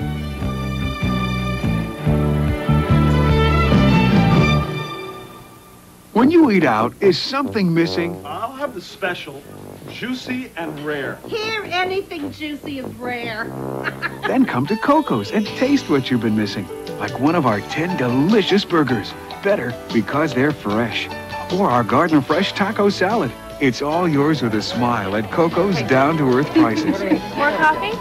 She doesn't miss a thing. And if you love beef, you'll love Coco's new Beef Lovers menu. This is story of how Slavovia team arrived to U.S. Los Angeles Olympics, driving through Texas Austin when Bumsky truck breakdown. Lucky for us, this happened in front of Henna Chevrolet, famous American car store. oh, that me. He's lucky because Henna has go with winter sale now till August 13th. So many cars and trucks and sale tags. Oh, these prices not found in Slavovia. It takes no time to find new truck. Now driving to Olympics in style thanks to go with winter sale at Henna Chevrolet. Okay, here's a question for you. What has a tail, weighs about a billion tons, and is heading straight toward us? Well, it's Halley's Comet, and some scientists at the California Institute of Technology say they've learned a little bit more about it. Even though the comet is still 800 million miles away, they've managed to take some pictures of it through a 200-inch telescope. Those photos show the comet is due to come closest to the Earth in February of 1986. That ought to be pretty nice. It should be interesting to get a view of that at least. No, it comes can't- around, I guess, once in a lifetime. That's right. And February uh, is a typically cloudy month. Uh, that's something to think about as we get a little closer to that in 1986, at least some type of forecast there, long-range forecast, if you will. long range. Looked like we might, might have gotten some showers in the local area today, got off to the southeast, though, and they began to die out. All a result of a very, very weak trough of low pressure along the Gulf Coast. We'll take a closer look at that in a moment. Outside now in Austin. 5 o'clock temperature officially know, was standing at about, um, well, I can't tell you exactly what the 5 o'clock temperature was, but I can tell you there was no rain today. Today's high was 96 degrees. Morning low was about 73 degrees. And a quick look at your area lakes now will indicate a water temperature at Lake Travis to stand at about 85 degrees as of midday today. Uh, this is the way the satellite are was shaped up this afternoon, and we'll start out this evening uh, with the satellite picture. You can see the coastal showers and thunderstorms, a weak trough of low pressure along the coastal bend this afternoon. Spawn showers and thunderstorms. You can see these coming pretty close to the Austin area. This is a 4 o'clock shot, by the way, so it is a couple of hours old. But it gives you some indication, indeed, how uh, close the showers and even thunderstorms came to the Austin area. Some heavy thunderstorms north of the Houston area. Also notice uh, in north central Texas showers and thunderstorms.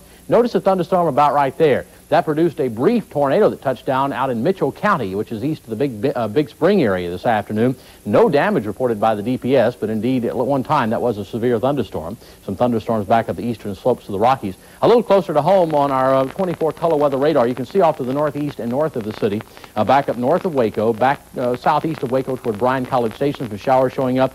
Some showers out in the uh, southwestern portion of the Texas Hill Country also this afternoon. Most of the showers that were in the coastal bend are now beginning to die out as this daytime heating slowly begins to go away. It'll continue to occur. Uh, the showers should continue to dissipate, rather, as sunset gets a little, uh, a little bit closer during the evening hours tonight. Temperatures or rain scan. I've got everything all messed up tonight, but in any case, we'll try to step our way through it. You see all the showers that did form in that sea breeze front or along that trough of low pressure along the coast, thunderstorms in north central Texas. The most intense activity, as it has been in the past few days, has been far to our east over portions of Louisiana and Arkansas. Around the World's Fair over New Orleans, they have had upwards of eight inches of rain in portions of coastal and southeastern Louisiana in the last three or four days. That has been the response of that low pressure trough along the coast and it has not shifted to the west very much. So indeed, the heaviest rain has remained to the east of the local area, primarily over southern coastal areas of Louisiana. Temperatures at 4 p.m. this afternoon ranged all the way up to 95 up around Waco, 97 at Wichita Falls. Beginning to cool down around Dallas-Fort Worth. They did have a thunderstorm there this afternoon. Little Rock was getting a pretty heavy thunderstorm at 4 o'clock, as was Monroe in Louisiana. Elsewhere, you notice the temperatures are quite warm with lots of sunshine over much of the state this afternoon, exception being those rain areas. National weather this afternoon dominated by that uh, very little actual pressure system problems, but we do have that trough of low pressure along the coast of Texas that is producing showers and thunderstorms. 87 at San Antonio at last check. Showers and thunderstorms have been very general, though, this afternoon, all the way from the northern and central plain states back into the Great Lakes and back into the lower Mississippi Valley. Temperatures over much of the nation are quite mild, not quite as warm as they have been with all the cloudiness and showers. 85 at Bismarck, currently 84 at Denver, 73 sunny at Seattle this afternoon on the East Coast, 81 at Caribou, Maine. It's 87 degrees around Miami. For Austin, this is the way it shapes up, our forecast. Partly cloudy, a few afternoon, evening thunderstorms. Probabilities are running between 20 and 30 percent, the highest probability during the evening and late afternoon hours. Continued hot, low tonight of 74, the high tomorrow of 94 degrees. Winds will continue out of the southeast for the next couple of days, a little stronger during the daytime hours and stronger and very gusty in the vicinity of thunderstorms. In our extended forecast, how about partly cloudy skies? Pat, there will be a chance of rain each day, uh, probably a 20 or 30 percent chance each day. For the most part, it will be partly cloudy, and uh, that rain chance will continue to be very low. Well, maybe we'll get some of that Maybe. moisture. Maybe. Maybe. All right, thank you. Danny Elsner is next with sports. He'll take a look at a local Olympic athlete through the eyes of his coach.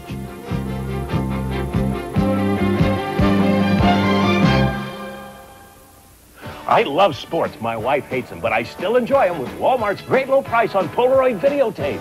Polaroid videotape for two, four, and six hour recording is a fantastic low $6 every day. At that low price, I can record all of my favorite programs and play them back later when she's not around. Ralph, you've been in that family room a week. Walmart's everyday low price of $6 on Polaroid videotape makes my day. It's a better day when you save the Walmart way. Explore Texas, it's the finest place to go. Explore Texas, there's some real good friends to know. Explore Texas, there's so many fun things to do. And Texas is waiting for you. Texas, Texas, explore the Republic of Texas. It's time for a look at sports with Danny Elsner. Got some Olympic athletes from our area. Well, a guy from Texas doing very well out there, but he could do better.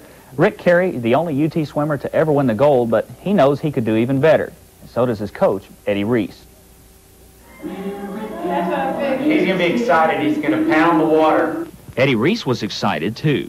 He and his family gathered around the television last night to watch Longhorn Rick Carey go for the gold again.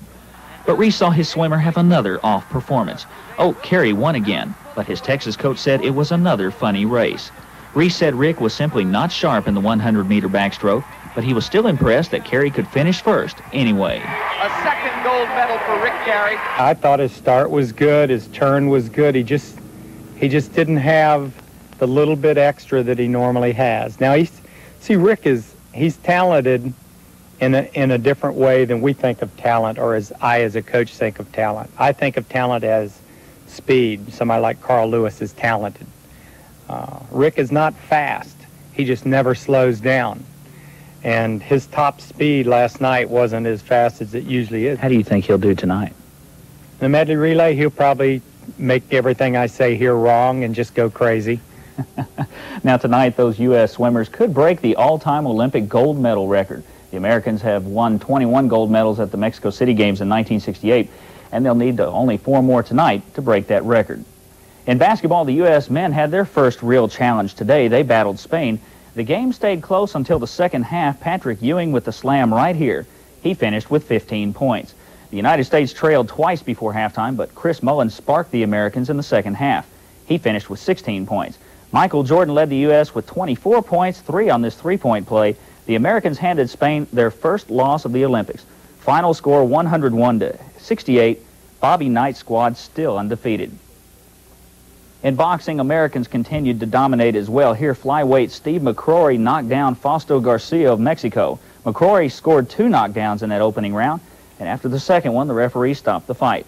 McCrory recorded a first-round victory. American boxers are still overwhelming their competition at those Olympic Games. What a punch. Tonight, the Dallas Cowboys will begin their preseason schedule against Green Bay. Danny White will start at quarterback, and Randy White is still not in sight. We'll have uh, highlights after the Olympics. Also, the Houston Oilers will unveil their new quarterback tonight along with their new head coach. Hugh Campbell will start Warren Moon when the Oilers play at Tampa Bay. In baseball, the Texas Rangers had trouble with the long ball in Boston. The Red Sox hit three home runs against uh, the Rangers pitching, two off Frank Tanana. Here's one of them, Wade Boggs with a long blast, bottom of the fourth, and the Rangers go on to win. Uh, the Rangers go on to lose. Uh, Boston wins that game 5-2. We have other scores now. It was Kansas City over Detroit 9-5, the White Sox over Milwaukee 7-3, and Oakland leads Seattle 4-2 in the eighth inning in the National League. Los Angeles, Cincinnati all tied up 3-3 in the ninth, and the Cubs are leading Montreal 4-0 in the seventh. And we'll have more scores tonight at 10. In golf, Tom Kite did something in Memphis he hardly ever does. He missed the cut. He can afford it. Kite has won over $300,000 so far this year. Here's a look at today's action. The leaders, Bob Eastwood, right here on number 18 for a birdie. That tied him for the lead with Ro Loren Roberts. Roberts had to make a 25-footer to save par right here on number 17. Downhill, what a putt. It goes in. Eastwood and Roberts are tied 8 under. Former Longhorn Mark Brooks is at 1 under. He'll make some money this weekend. And the final round of that tournament tomorrow. You can still get in some good fishing this evening. Fishing should still be good from about 7 o'clock until 10 o'clock tonight.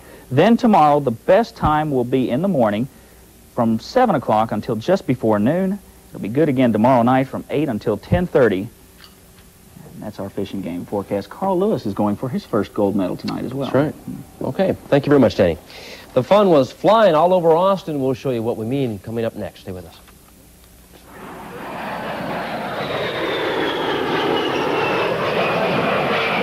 Maneuver in the opposite direction. Wanted, dead or alive. Your used car during Bounty Hunter Days at your Texas Ford dealer. Bring us your old used car and collect your reward. Clearance deals on special value package tempos loaded with options. Special value package Thunderbirds save over $600. Clearance price Mustangs, Crown Victorias, and more. Big rewards on all new Fords, whether you buy or lease, trade or no trade. See your Texas Ford dealer, your headquarters for quality. We're with you on 24 with you. The original science fiction space adventure returns. Pattern of your death. I'm not going to move from this spot. They're shadows, illusions, nothing but ghosts. Star Trek, beginning Monday, August 13th at 4 on 24.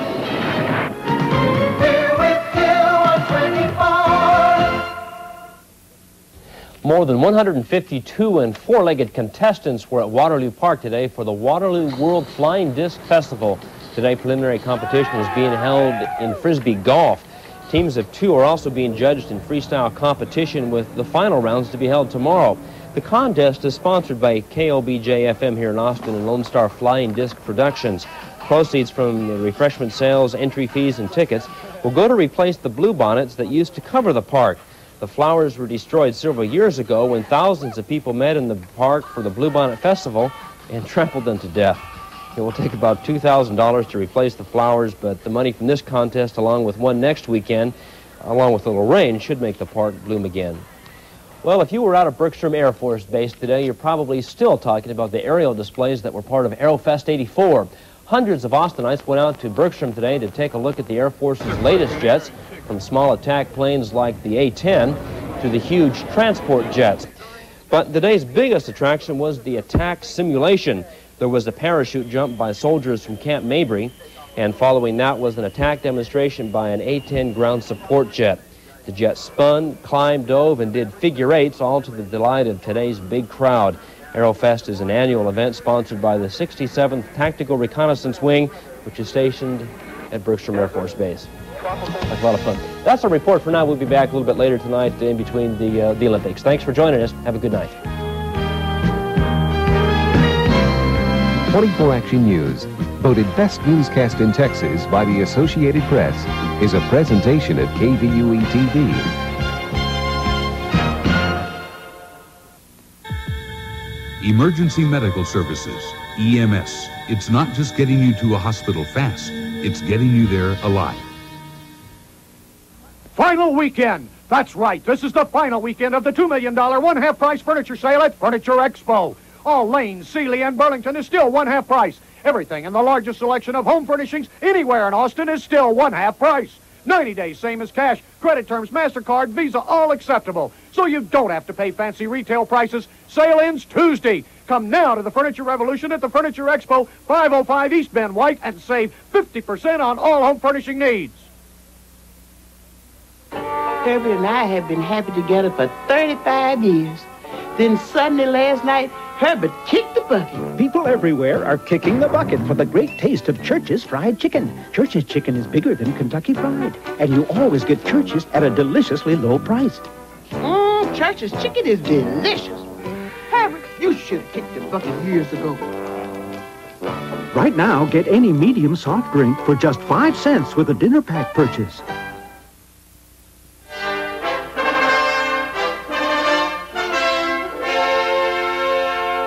The following sports special is an exclusive presentation of 24 KVUE TV Austin.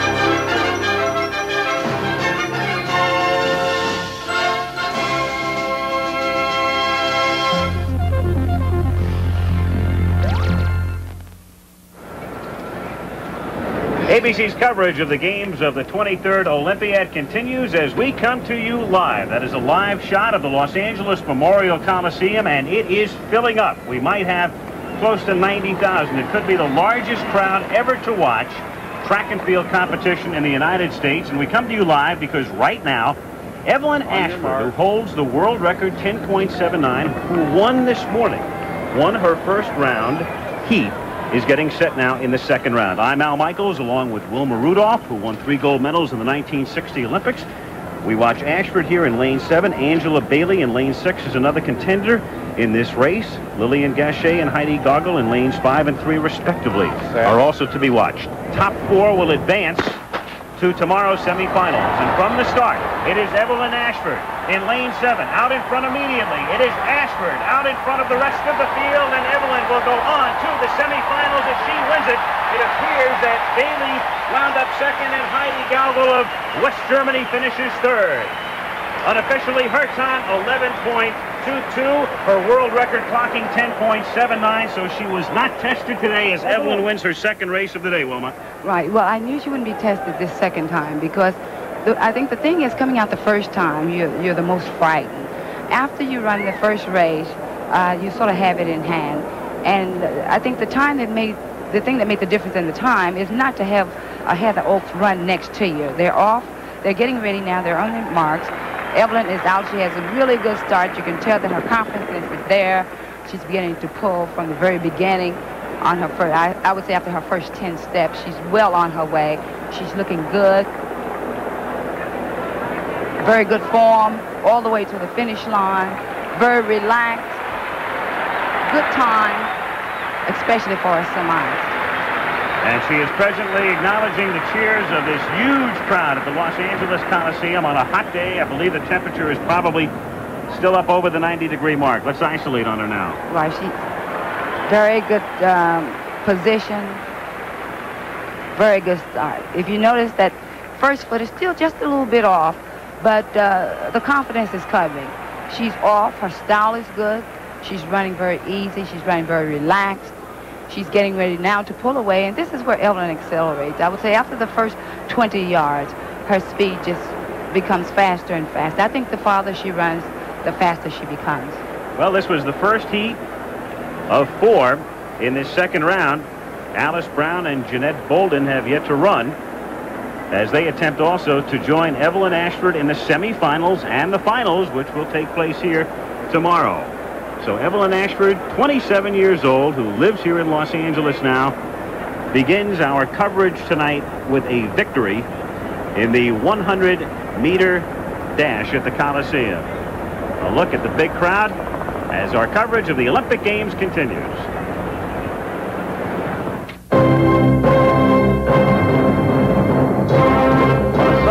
Weekend like this one, hundreds of thousands of Los Angelinos would normally be headed for the beaches, jamming the freeways, filling the air with fumes. But on this particular weekend, the big crowds are filling the Olympic venues, particularly the Coliseum, where track and field moves into high gear. From Los Angeles, California, ABC Sports presents the games of the 23rd Olympiad.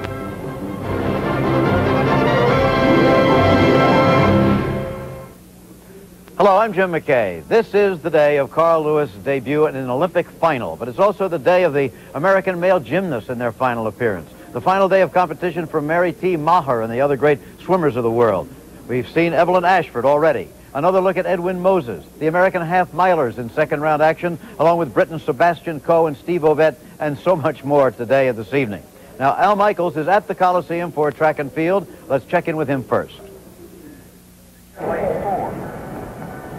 Well, Jim, we had a crowd of close to 70,000 this morning. They expect almost 90,000. Every seat may be full tonight. It's a big night of track and field. What happened this morning, among other things, Tom Petranoff, the former world record holder in the javelin, did qualify, a member of the United States team, of course.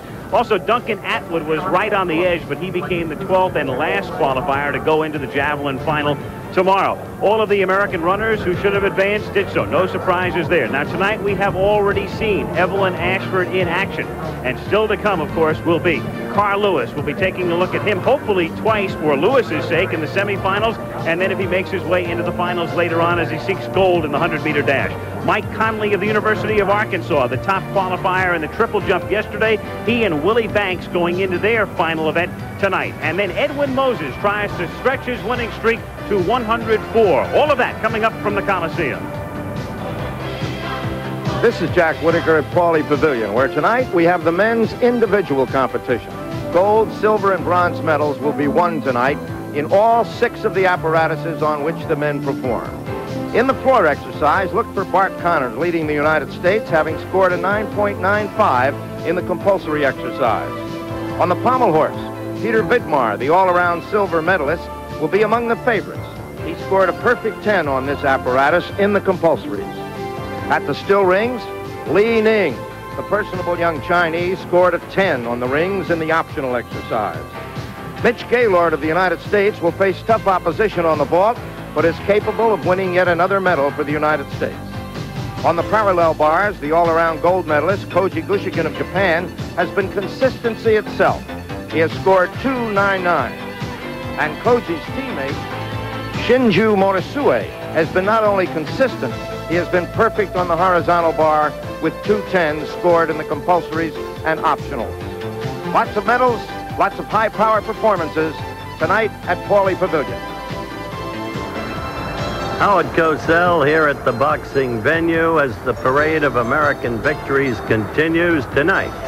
You'll see the brilliant light flyweight Paul Gonzalez in his second bout of the competition, an early victory over a very difficult South Korean opponent, and then you'll meet again the light heavyweight Evander Holyfield, favorite to win the gold in his division. I'm Jim Lampley. Competition comes to a close in swimming tonight, and Americans are favored to pad their gold medal total of 18 to at least 21, which would equal the all-time high set at Mexico City.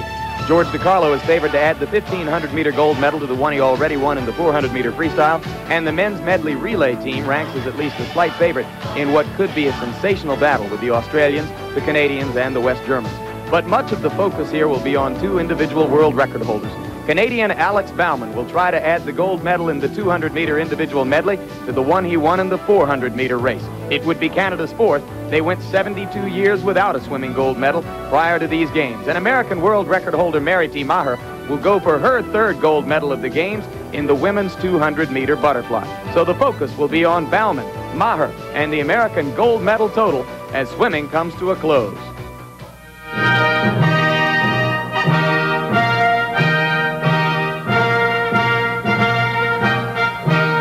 The games of the 23rd Olympiad are being brought to you by Kodak, official film of the 1984 U.S. track and field team. Kodak film, because time goes by. Budweiser, proud sponsor of the U.S. Olympic team. For all you do, this Bud's for you. Allstate, for home, auto, business, health, and life, you're in good hands with Allstate and local McDonald's restaurants who join together to build the Olympic Swim Stadium.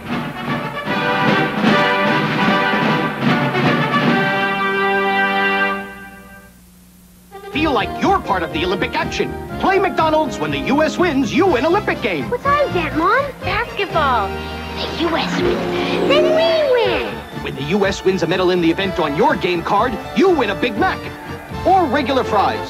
Or regular Coca-Cola. Or win up to $10,000 instantly. So go to McDonald's and collect your game cards. Because when the U.S. wins, you win. Way to go, Mom. Olympic stars can start out like this. So catch 'em now with a Kodak disc. I'm gonna get you with the Kodak disc. As sure as shooting, I'm not gonna miss. Not when it's as easy as this. I'm gonna get you with the Kodak disc. The Kodak disc camera advances automatically and knows when to flash. Think there's a camera easier than that? Not by a long shot. You're never too small to give it your all. I'm gonna get you with the Kodak disc. Kodak, official sponsor of the U.S. Olympic team. My dad's a hero. Yeah? He fixed the whole house with Stanley. Stanley who? Stanley Hardware. He helped Mom put up plant hangers, put a chain lock on her door to keep bears out. Stanley shelves for my room, and safety latches so my sister can't get the scissors. She's just a kid.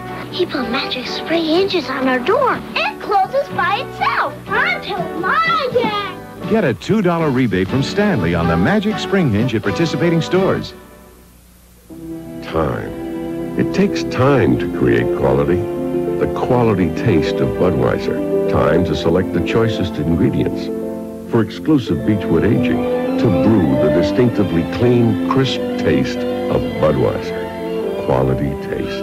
That's what people want in a cold glass of beer. And this is the one they want. Somebody still cares about quality.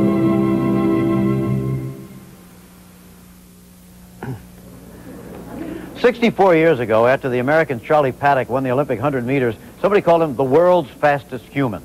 Well, ever since, the winner of that event in each Olympics has been awarded that unofficial title. What a litany of great names they've been, really. Harold Abrahams, he of Chariots of Fire fame in 1924. Little Eddie Tolan running with his glasses taped to his head here in L.A. in 1932. Jesse Owens in Berlin, and Bob Hayes in Tokyo, and Jim Hines setting a world record that stood for 15 years in Mexico City. The event's thought of as an American specialty, so it really comes as something of a surprise to realize that no American has won it in 16 years. The Soviet Valery Borzov swept both sprints in 1972. Hasely Crawford of Trinidad and Tobago won at Montreal. And of course, the U.S. didn't participate in 1980. Now comes Carl Lewis, entourage and all, heralded with everything but trumpets as the new king, the new Owens, the invincible, the unbeatable. Is he really all these things? Well, the test begins this evening, really, with the semifinals and then the final of the 100 meters. Right now, however, we're in the process of trying to find out who is the world's fastest woman. Right out? That's right, Jim. That, I like the, the way you put it, too. In a way, I think I referred to this yesterday. The 100 meters On is the mark. great American race, but you put it so well. It's been uh, a number of years, since 1968, since we've had a male winner. It's also been that long since we've had a an American woman win the 100-meter dash. Wyomia Tyus was the last to do it. Now, we've seen Ashford qualify. Here is Alice Brown now in this heat. This is the third of four heats. The top four finishers will advance to tomorrow's semifinals. Alice Brown who ran 11.15 this morning out of lane four. And it's a very good start for Alice Brown. It's Alice Brown out in front of the field. It is Brown with Marjamaa of Finland in lane three in second place. And it's Brown winning it. Marjamaa lines up second. Heather Oakes of Great Britain finishes third. So, an 11.35 for Alice Brown, who of course runs in the shadow of the heralded and highly publicized Evelyn Ashford, the world record holder. But Alice has been very much holding her own, looked very strong in her heat this morning. Competed in the World Championships at Helsinki, Wilma Rudolph, and she has to be quite happy with her performance today. Oh, I think she's quite happy. She's worked very hard. You can tell she always turns around and looks to see what happens time-wise. But she has an excellent start. She always gets a fantastic start. And she's out and she's already running smooth. If you can look right now, she's running relaxed. Her knees are up, her, her arms are pumping. She has complete control. I was thinking that since uh, Oakes was in the race with her, that it would be a closer race. But I think they have to be a little closer together from the standpoint of lane assignment. Now they're A the great top, finish. The top three, we called them for you, Marjamaa and Oakes, and finishing fourth in lane seven was Juliet Cuthbert. And that's significant because she too now advances. Also, I think it's significant to note a 2.3 meters per second headwind. That's a pretty big headwind for these ladies in this heat. If you notice, she's um, concentration is there. If you notice, her first step is good. Excellent first step, and she's driving out. And this is all of the power in those first five to ten steps. And once she straightens up a little bit and really gets into the race, her form is excellent. She looks fantastic. She runs very easy. I think she will uh, really do well by the next race going. Her confidence is building each time. And the thing about Alice Brown is she's hungry. She's determined. And uh, in a, a race that is so short, there's no pre-planning. The thing is trying to always get a good start and, and maintaining. And she did exactly that in, that in this race here. And here's a lady who might have quit. She won the trials in 1980 and because of the boycott did not get to go to Moscow naturally. Thought about retiring, but uh, here she is now on her way to the semifinals at the age of 23, her home nearby in Altadena. So we've seen Evelyn Ashford and we have seen Alice Brown, and there are the results, the top four that advance to the semifinals in the women's 100. It isn't easy keeping in shape, but Don Gwaltney isn't doing this just for his health. He's doing it for money. The money he's saving on his life insurance with an Allstate Shape Up and Save discount.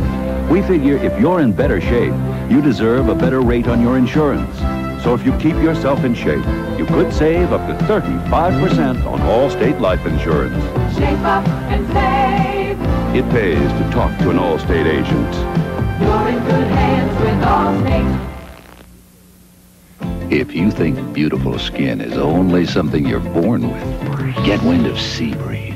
Beautiful skin can be a breeze with sea breeze. Cleanses, scrubs, rinses skin clean, Beautiful skin can be a breeze with sea breeze. invigorates, softens, lets skin breathe. Beautiful skin can be a breeze Beautiful. Makes Peerless America's number one do-it-yourself washerless faucet? It goes in fast. It's built to last. It's even warranted. It lasts a long, long time. No tools to use. You just can't lose. And look, it doesn't drip. It lasts a long, long time. Peerless washerless faucet installs in no time. And lasts a long time. It lasts a long, long time. Peerless lasts a long time, but our $6 rebate only lasts till August 31st. Hurry. It's your first taste of the day, starting fresh, starting pure. It's your first taste of the day, so you make sure that you let Minute Maid begin. We always make sure our first taste of the day is the best it can be. with 100% pure Minute Maid orange juice. The first taste of the day. Live again, they're in the blocks. We're set for the fourth and final heat, second round for the women's 100. Jeanette Bolden, United States in lane four. And it's a great start for Bolden. She's out in front immediately. Lovala France is in second place. On the outside, here comes Grace Jackson. And it's Jackson crossing the line in tandem with Bolden. Very, very close. I think Grace may have won it. Bolden winds up second. It looked like Pauline Davis of the Bahamas finished third. The top four go to the semifinals, so it really doesn't matter if you finish first or fourth or second, as the case may be with Bolden here, who got a terrific start. But there's Grace Jackson from Jamaica, who came on acknowledging the response of the crowd as she is the winner of this heat. Jeanette Bolden, who got out of the blocks in a big hurry, becomes the third American now to go to the semifinals, Wilma. Well, here we are. Jeanette Bolden has a fantastic start. And the thing with the sprinter is having a fantastic start, being able to accelerate and maintain. And we, you're looking over to her left, you will see that Grace Jackson will sort of ease up uh, and uh, take the first place. She's looking good, but she's a little bit tight uh, past the, I would say, the 60 to 75 uh, mark. And this is where Jackson nips her right here at the tape. She has a good finish, lean, but just not strong enough in the stretch. Still qualifies her, and I think she will run probably, uh, uh, here's the start of the race. The concentration is good. She's off. Her first step is excellent. She's a little bit high coming up, but she's still in the race. Her form looks good. And she is, is basically what you call a, uh, not a small sprinter, but a relatively tall sprinter. Well, you know her well, and she's uh, undergone uh, some incredible uh, misfortune early in her life to, to get to where she is right now. Right, although she took a second place in this um, heat, she's still uh, a good contender. I would say a good contender from the standpoint that she overcame so many uh, difficulties in her early childhood. She was born uh, three pounds, and from there she had asthma all of those years. And um, she was in and out of the hospital. I think she stayed in the hospital the first six months. So she's had a terrible time, and she wore a special shoe because she had a club foot. And then it goes on from the standpoint of her getting into the race, um, maintaining and uh, falling out a couple of times when she's very young, and uh, being encouraged to run. So her mental attitude is great. Well, here she is now going to the semifinals. By the way, Loval of France winds up third and Davis of the Bahamas fourth. So now we have the field of 16 set for the semifinals and the finals which take place tomorrow. You told us earlier as you look at the Americans who qualify that you expected Evelyn Ashford to win the gold, and I take it nothing's happened today to dissuade that opinion. Oh, of course not. I think Evelyn is still one of the greatest runners in the world, and we will see in um, the semis because the, the more races that she runs, the more the confidence builds. And you could see when she finished, her hands were up, and she was happy, so that means she's going to really be up for the race. All right, that's the story of today's Women's 100. Right now, let's go back to Jim McKay. Okay, Alan Wilma, quite a day, remember now, and an evening coming up here. We're going to be seeing the uh, American men and, of course, the other men from uh, People's Republic of China and from Japan in the individual event finals of gymnastics. By the way, they don't perform on all the uh, gear at once in this one, all of the equipment and apparatus, so you can really focus on each piece of apparatus as it is used. Coming up very shortly, we're going to have the semifinals live of the men's 100 meters, featuring Carl Lewis, of course, and later on, on this same program live, the final of that race. The gold medal will be awarded this evening. We have so many things coming up. There's a lot more swimming on the final day of swimming competition. But in just a minute, we're going to show you a tremendous rowing race, women's rowing up on Lake Casitas outside Santa Barbara. Look at the shot from overhead of that Coliseum, almost filled. We'll be back after this word from our local station.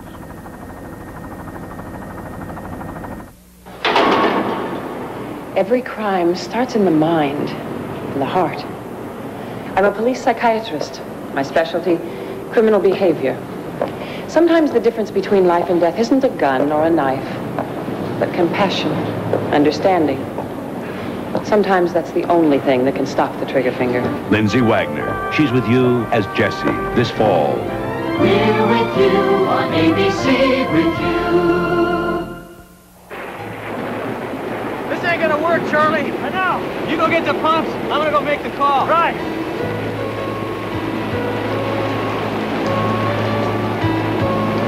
Yeah, this is David Treeland. Uh, we're going to need a couple of your large pumps.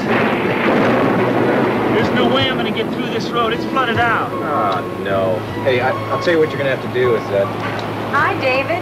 About dinner tonight, I'm going to have to pass. I... Not again. All of these people, places, and services were brought together by one new corporation. Southwestern Bell, we're bringing you together. That's what we do. Depend on us. We're always there. Bringing you together with local telephone service, the Yellow Pages, cellular mobile systems, and the latest equipment for your home and business. We're the new Southwestern Bell Corporation. Anybody for a wet burrito? General Electric and McNair's want to offer you the greatest deal ever. It's our Summer Olympics sale with gold medal savings on GE refrigerators, ranges, GE color television sets, and video recorders. Plus, McNair's is open till 9 p.m. Monday through Friday until 5 on Saturday. Don't be left at the starting gate. Hurry to the Summer Olympics sale at McNair's TV and Appliance. The money saver. Money saver. That's exactly what we do. We save money for you. This is 24 KVUE TV Austin.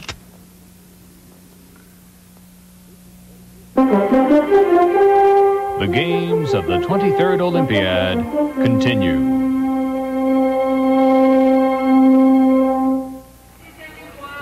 The eights are the premier event of any rowing meet. Let's set the lanes for you. In lane one will be Holland or the Netherlands. Romania, which has won five gold medals in five events here this morning, is in lane two. Federal Republic of Germany in lane three. Canada's in lane four.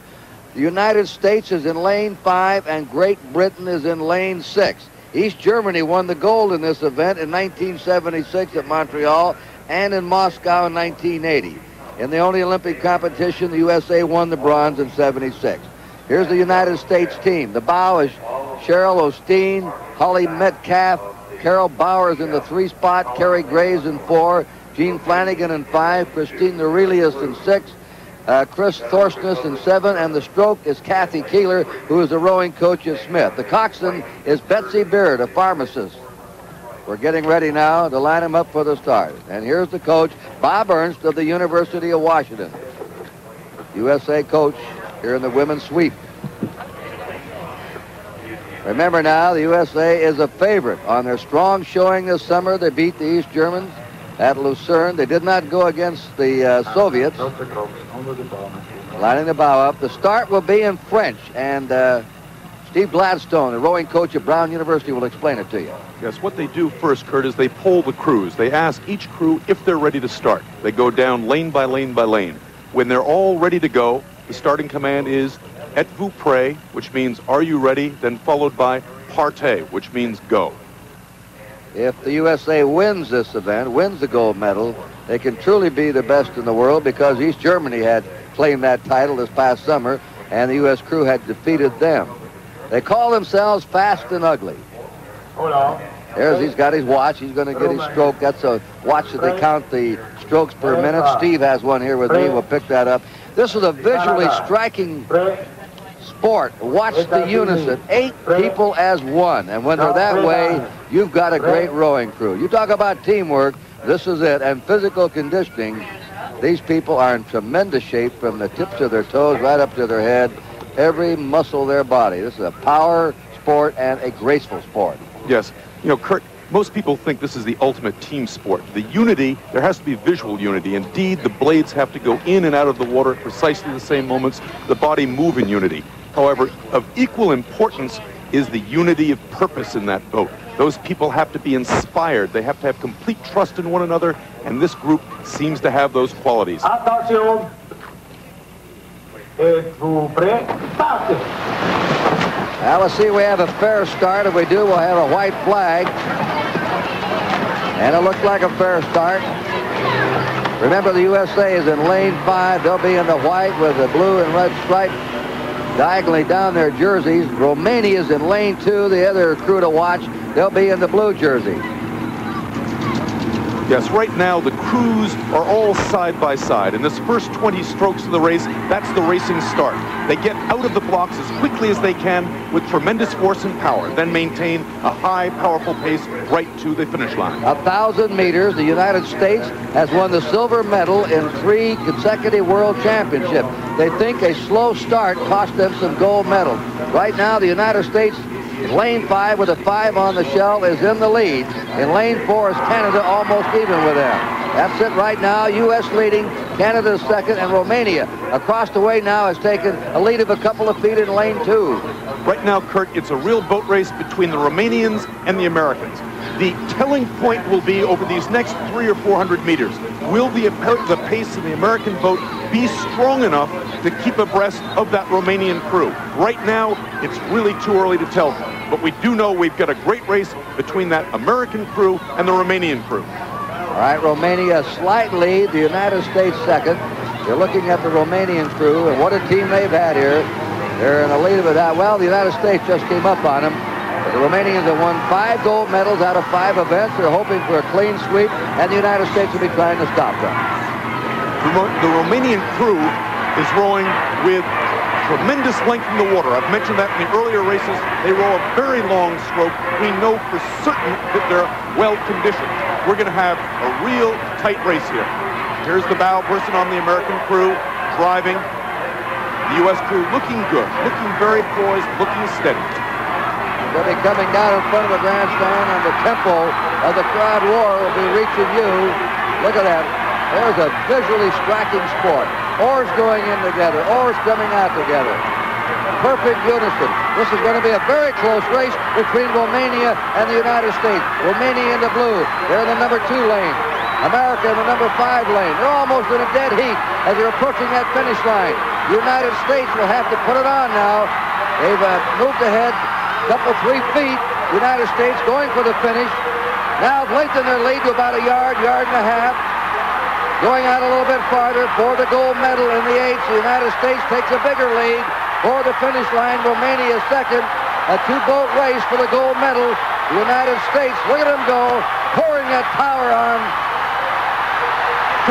That's a great race. They had to dig down deep, here they are driving to the line. And they, there they are. They win the gold medal. The United States eighth. Romania second. And across the way, it appears to be Holland for the bronze. Bob Ernst being congratulated. A gold medal. So Romania did not sweep the finals of the women. They won five of the six gold medals. Officially, utter exhaustion. Just Kurt, the turning point in that race was with 200 meters to go. The Romanians had a slight lead or were driving. At that point, the American crew dug down deep and responded. Look at this finish. United States, a couple of yards over a very game Romanian crew. Look at that drive.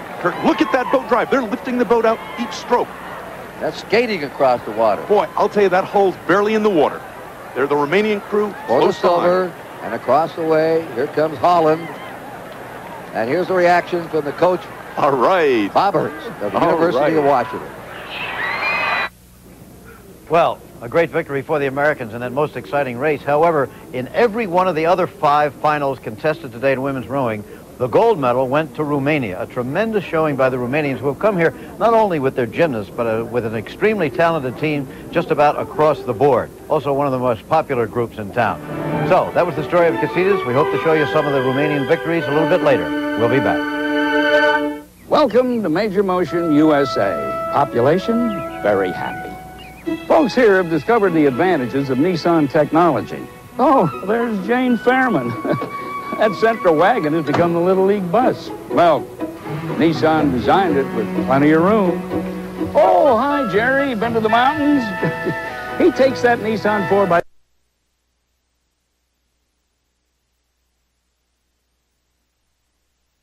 will be in the first, which is upcoming in just a couple of minutes. The first four finishers in each heat qualify for the finals, which will take place at about 7.10 local time tonight. Ron Brown right there, number 887. What about running the 100-meter dash? Is it as simple as it seems? Well, let's find out from the juice, O.J. Simpson. Now, who better to talk to you about the proper way to start than your boy, the Juice. These once feared feet, hey, I used to be tough out of the blocks. Now, the 100 meter is the shortest race in the Olympics, so it's obvious if you make a mistake here, the chances of you being around to collect any kind of medal at the end are practically nil. Now, we have one of our top competitors, Ron Brown, here. Ron has asked me to help him on his start because he'd like to win some kind of medal here. Now, Ron, listen to me. The first two things you got to think about is you want to keep your hands behind the start line. So get down here. And the other rule is that you got to have some part of your foot on the ground. Other than that, you just want good balance on your arms and hands. You want to have your body leaning forward. Okay? Are you relaxed? Relax. I'm going to cook you here. All right.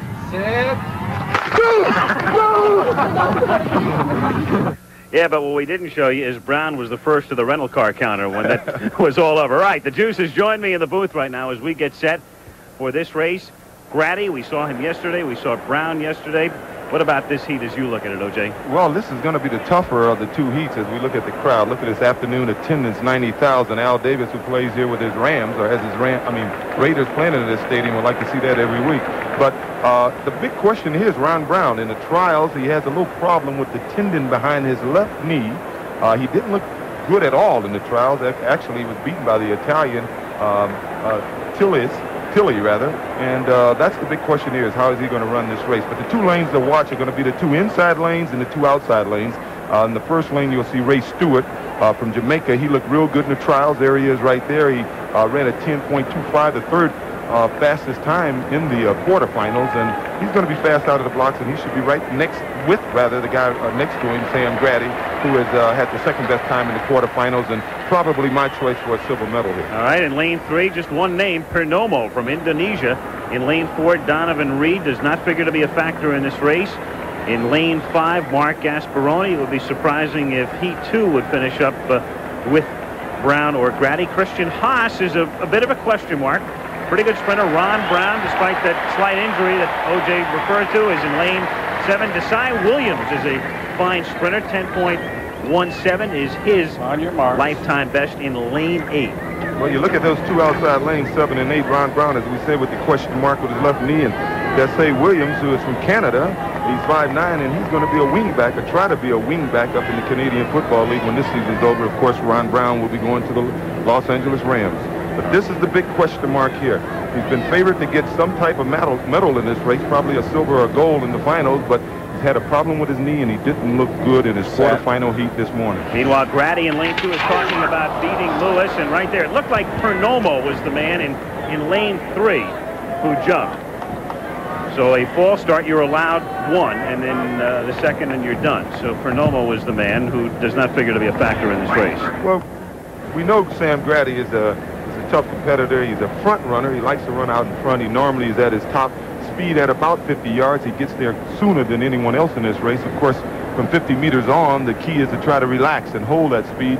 Normally around uh, the latter part of the race, the last, uh, I guess, 20 meters, uh, someone like Lewis would pull on him. But uh, in this race, I don't see anyone, with the exception of Ron Brown, when he is sharp, that has that pulling power late in a race that can catch Sam Graddy. I expect him to be out in front and probably lead this race all the way.